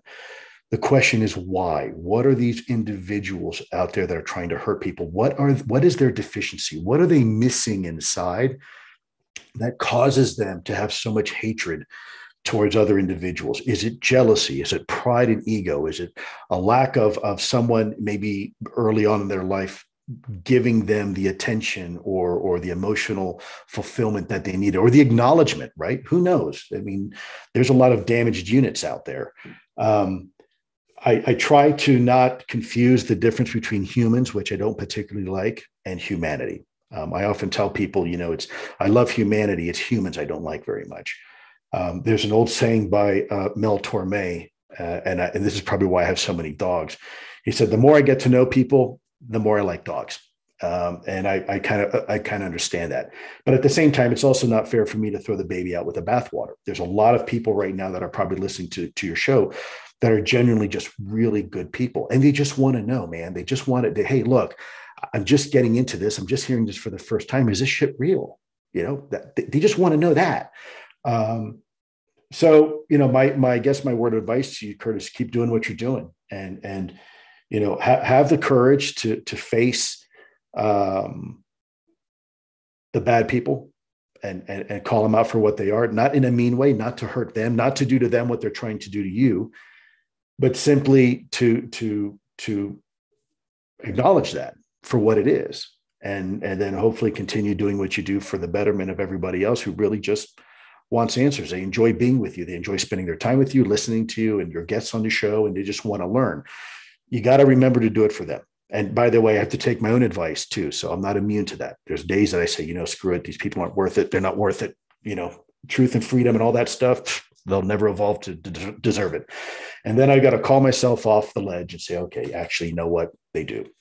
And I'm just pissed off because a few people that are, are jerks happen to have the loud voice when in reality, you know, most of the most of the of the of the majority is silent most of the good people are silent it's it's the it's the agitators that make most of the noise but in reality most of the people aren't that way. And and i have to remind myself of that. For the people who are wondering hey i thought this was a conversation about ufos well in some ways this last hour has been a a meta conversation about UFOs because it's about the conversation about UFOs, much like when the physics community or some subset of the physics community criticizes string theory because it's taken the lion's share of the money.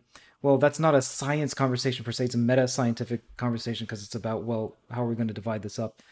And there is plenty of conflict in this UFO community. But I know that you said they're bad people. I consider myself as a part of that group.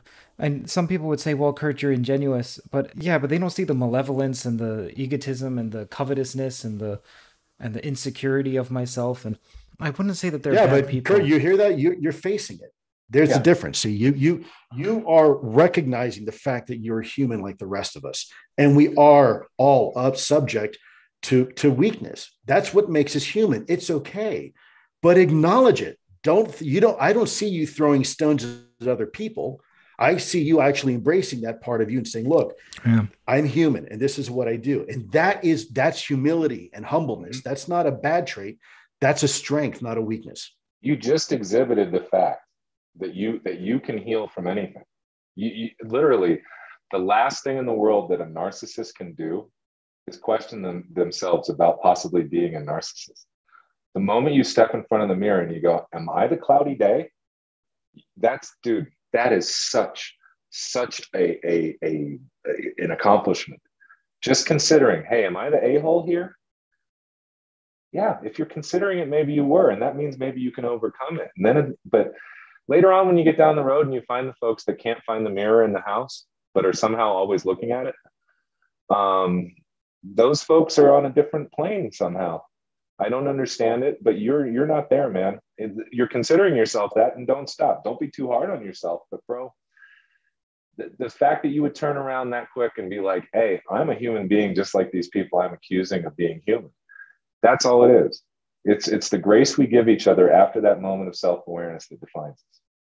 Curt, that's a superpower. The fact that you can you can look at yourself in the mirror and say, you know what, I, don't like necessarily everything I see, and you know, I, I probably need to change some things. That that's that's not a fault, brother. That that's a blessing. And you know, I think we all we're all better off for it when we can look in the mirror and say, you know what, sometimes I am weak. Sometimes I am selfish. Sometimes I am petty. Sometimes I, you know, fill in a blank, whatever issue it is. Um, the problem are for those individuals who can't do that, whether they're they they truly are sociopathic individuals or they suffer from some sort of personality disorder or narcissism. Um, that's the problem. That because because then there is no help because they they they, they will never be able to self reflect and change when ultimately that is the journey for all of us. We are we are we are all brought into an imperfect world, and and you know hopefully we leave this world better than than we found it. And that's really you know in order to do that, you have to recognize that hey, I'm not perfect, you know, and and I'm going to make a lot of bonehead mistakes. I'm going to hold myself accountable. I'm not going to flog myself necessarily, but but I will hold myself accountable and truly learn the lesson. And when I make a mistake, I'll be damned if I make that same mistake again. I'm not going to say I'm never going to make mistakes. I'm going to make mistakes all the time. I'm human and I will. That's just part of the human condition. But learn from those, man, and don't repeat the same mistake and have the courage, most importantly, to stand in front of the mirror and say, you know what? I don't like that about you. That's that's a weakness. You need to change. You need to work on it. Um, that that to me is a strength, not not a weakness at all. If you have the ability to do that, Curt, and clearly clearly you do. I appreciate that. I think it's overly complimentary. I, I don't know if I deserve all that, but thank you so much. And I also think that, you know, this whole hating of humans, I know you said it glibly, like hating humans, loving humanity. Seinfeld has a comment about that too. I don't know if that's possible. That's something I used to believe too. I don't know if it's possible to dislike a subset and like the whole. I think that somehow the view that one has for a tiny object or a tiny subset is somehow reflected in the whole. And I think that somehow, I know this sounds so hokey, man, but I think that somehow maybe our purpose, maybe this all sounds so woo Go for it, man. Go for it. and peculiar, but maybe it's it's to meet hate with love and to love even those that you at least initially despise. Even if they're oppressing you, you love your oppressors, and even if they're wronging you, you love them. I think that You're right. somehow that's extremely integral. I, I, I think if you can do that, that's fantastic. Those are the life lessons that some of the great people that have walked this earth before us have tried to preach. we don't always practice it. You know, I will tell you, I don't know if I agree necessarily that in order to love the whole, you have to love the constituent parts. There are many examples in reality where there are children that are born out of a, a horrible situation, whether it's rape or something else, and the child is a wonderful, loving child. But the situation that created the circumstances that brought that child into this world were less than desirable. And you don't have to love, you know, the the the act of of of that in order to love the end result of that um, that's just my opinion. You know, there, there's I've I've witnessed in in in within two minutes of each other the best and worst humanity has to offer, and there are elements of our species that I really despise. And by the way, I'm subject to the same thing. So I'm not I'm not not pointing my finger saying you humanity. I'm saying hey, Trust us, me, I know humanity. what you're talking about. Yeah, um, but I, I I do think that collectively you know, for the, the reason why I, I, and I can't answer for anybody else or speak for anybody else. The reason why I do what I do is because it's those two minutes of beauty that I've seen the human species capable of. We are capable of such hatred and destruction towards each other, but we are also capable of such kindness and beauty. And that to me is worth saving. That is why I do what I do, because those moments, those few precious moments, you know all, all of heaven all angels sing when when a good act is done uh, and and rejoice. And it's it's for that that is worth saving the species for. That's what makes us so wonderful. Um, unfortunately we are also our own devils and and we we do things that are very destructive towards each other and ourselves. Um, and that's just part of the human condition. I, I think that's that's probably normal. In fact maybe that's one of the reasons why we're here perhaps is to learn to rise above it. Um, you know, there, there are certainly certain religions that feel that way, that, you know, we're going to continue coming back over and over again until we finally learn our lesson. Um, you know, maybe that's the natural order of things. I, I, I don't know, but I, I do think that we can, it's, it's okay to be human, but we need to recognize when, when we are doing evil towards each other. And, and we have to, we have to be willing to hold each other and ourselves accountable. And that's, that's the life lesson thank you all for for coming out to this. I appreciate it. It took an interesting turn, and I hope a productive one. I think so. There was a time in about a month ago or so, or two months ago, when on Twitter I was realizing that there's plenty of hate, and I'm not saying I'm immune from this hate. Like if people saw what occurs in my mind, I think people would be extremely surprised at mm. the egotism and selfishness and so on.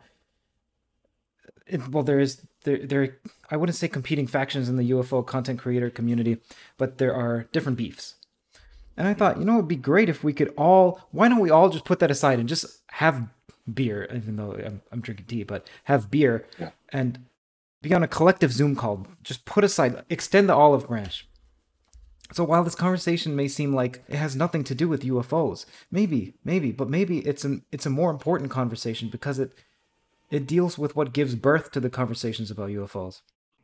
Curt, how can you honestly have a question and, and a conversation and answers about potentially one of the most existential issues facing our species if we don't even understand ourselves?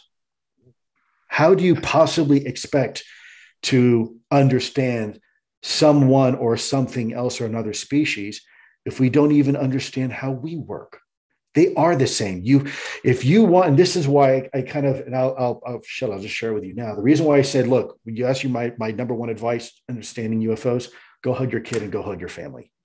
Because mm-hmm. that's where it starts. That's where it starts. It doesn't start reading a book. It doesn't start with having a conversation or podcast. It starts here. It starts here right now reaching out and understanding the, who you are as an individual and and and what you are and what is meaningful in life.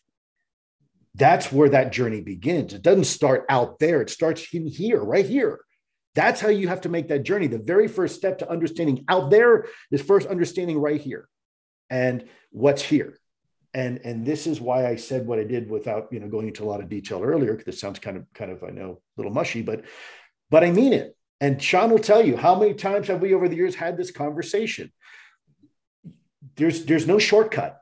You can't just all of a sudden have a shortcut and boom, now I understand, you know, the, the secrets of the universe.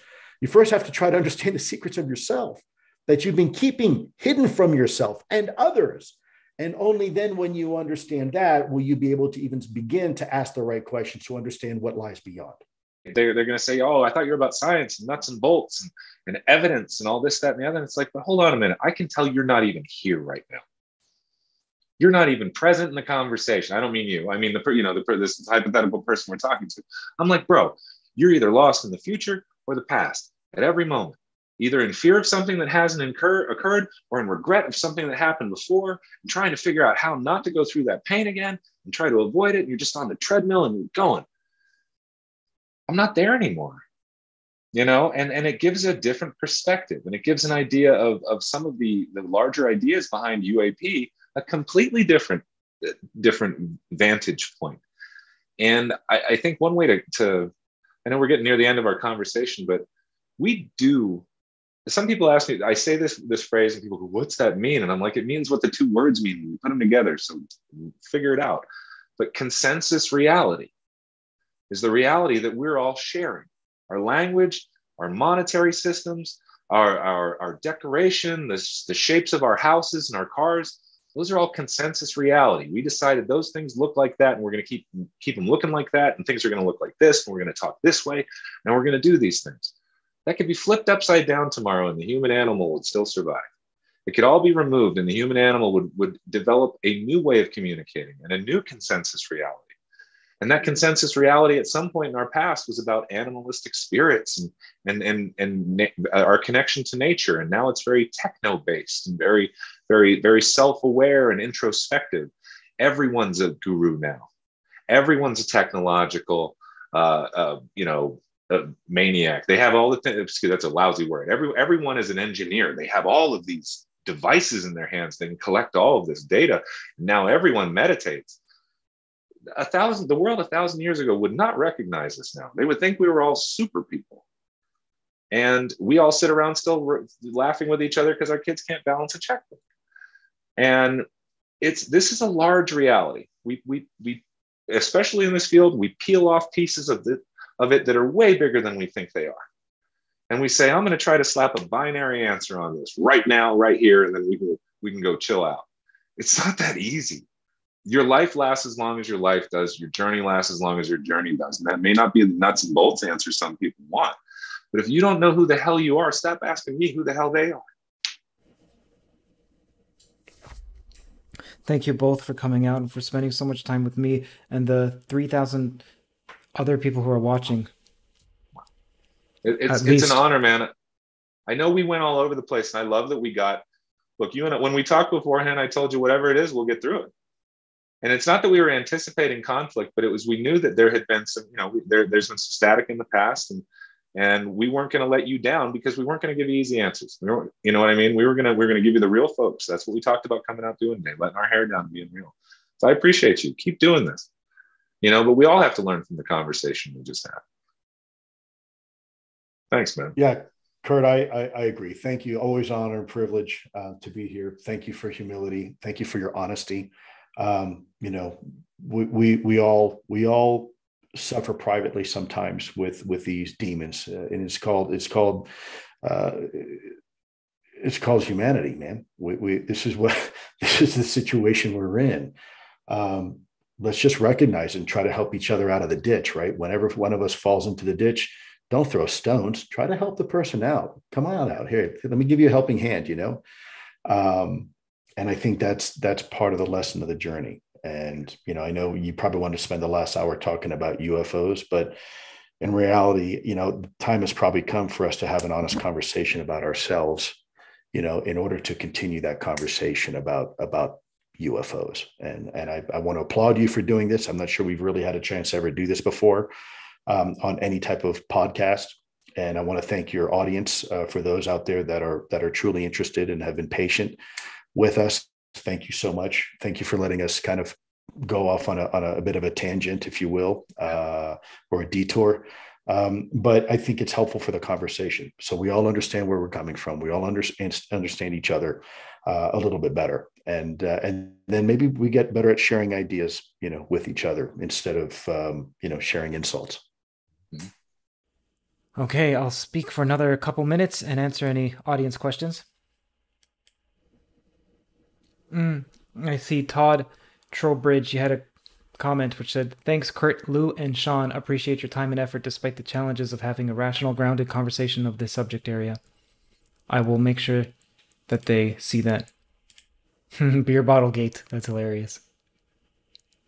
That's said by Machiavelli, too. Dirty Teaspoon wants to know if I can invite Richard Dolan. I have, and here you go. That's the URL. Joshua wants to know, Curt, do you feel your foray into this topic has been a net positive or negative? I think on the surface it's been a net negative. Maybe it's been a net positive or will become a net positive for myself. I hope that it's a net positive for others. Part of me taking a while before coming back to this topic was me assessing that. But I'm not saying it's altruistic, it's mainly selfish. I was assessing it for myself.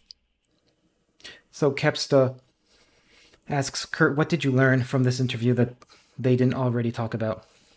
Well, generally, I find that most of the time watching anything on UFOs, any content on UFOs, doesn't provide me with what's new. Although that's a bit false because I'm so fresh, I'm green in the subject that there's bound to be one, two, three pieces that are foreign to me at the time. But much of the learning, at least for myself, doesn't come from what happened in the moment, but rather me thinking about the content weeks later and then also conversing with others, much like a movie. When I watch a movie, it's a strange question to ask what did I learn from the movie? Much of it comes from weeks later and hearing what other people think.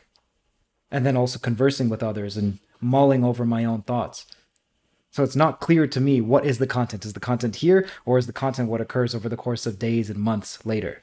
Someone wants to know is Garry Nolan coming onto the show? Yes, in early April. I haven't announced the specific date yet. Pious interview will be March 27th.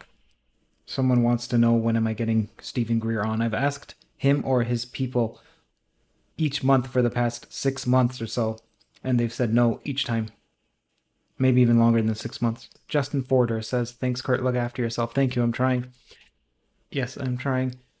Also, now may be a great time to let you know that there's a link to the Patreon in the description if you'd like to support this podcast, as the patrons and the sponsors are the only reasons that I'm able to do this full time. I rely pretty much exclusively on their support, and only do so if you feel like you have the means. There's no obligation at all. Currently, there's no special incentive for being a patron, such as a mug or some ad free experience. Nothing like that. And this is the way I'd like to keep it so that you're not being persuaded to join for any reason other than simply supporting the podcast. And also, by the way, the comments that I mentioned about people saying you are responsible for so and so, that happens from like five people out of tens of thousands of people. It's just that there's this negativity bias where I, like, I'm a, I'm a member of the human, I'm a member of humans, and humans have this there's this negativity bias where one focuses overly on the anxiety provoking. Okay, well, thank you all. I appreciate it. And take care. The podcast is now finished. If you'd like to support conversations like this, then do consider going to patreon.com slash C-U-R-T-J-A-I-M-U-N-G-A-L. That is Curt Jaimungal. It's support from the patrons and from the sponsors that allow me to do this full time. Every dollar helps tremendously. Thank you.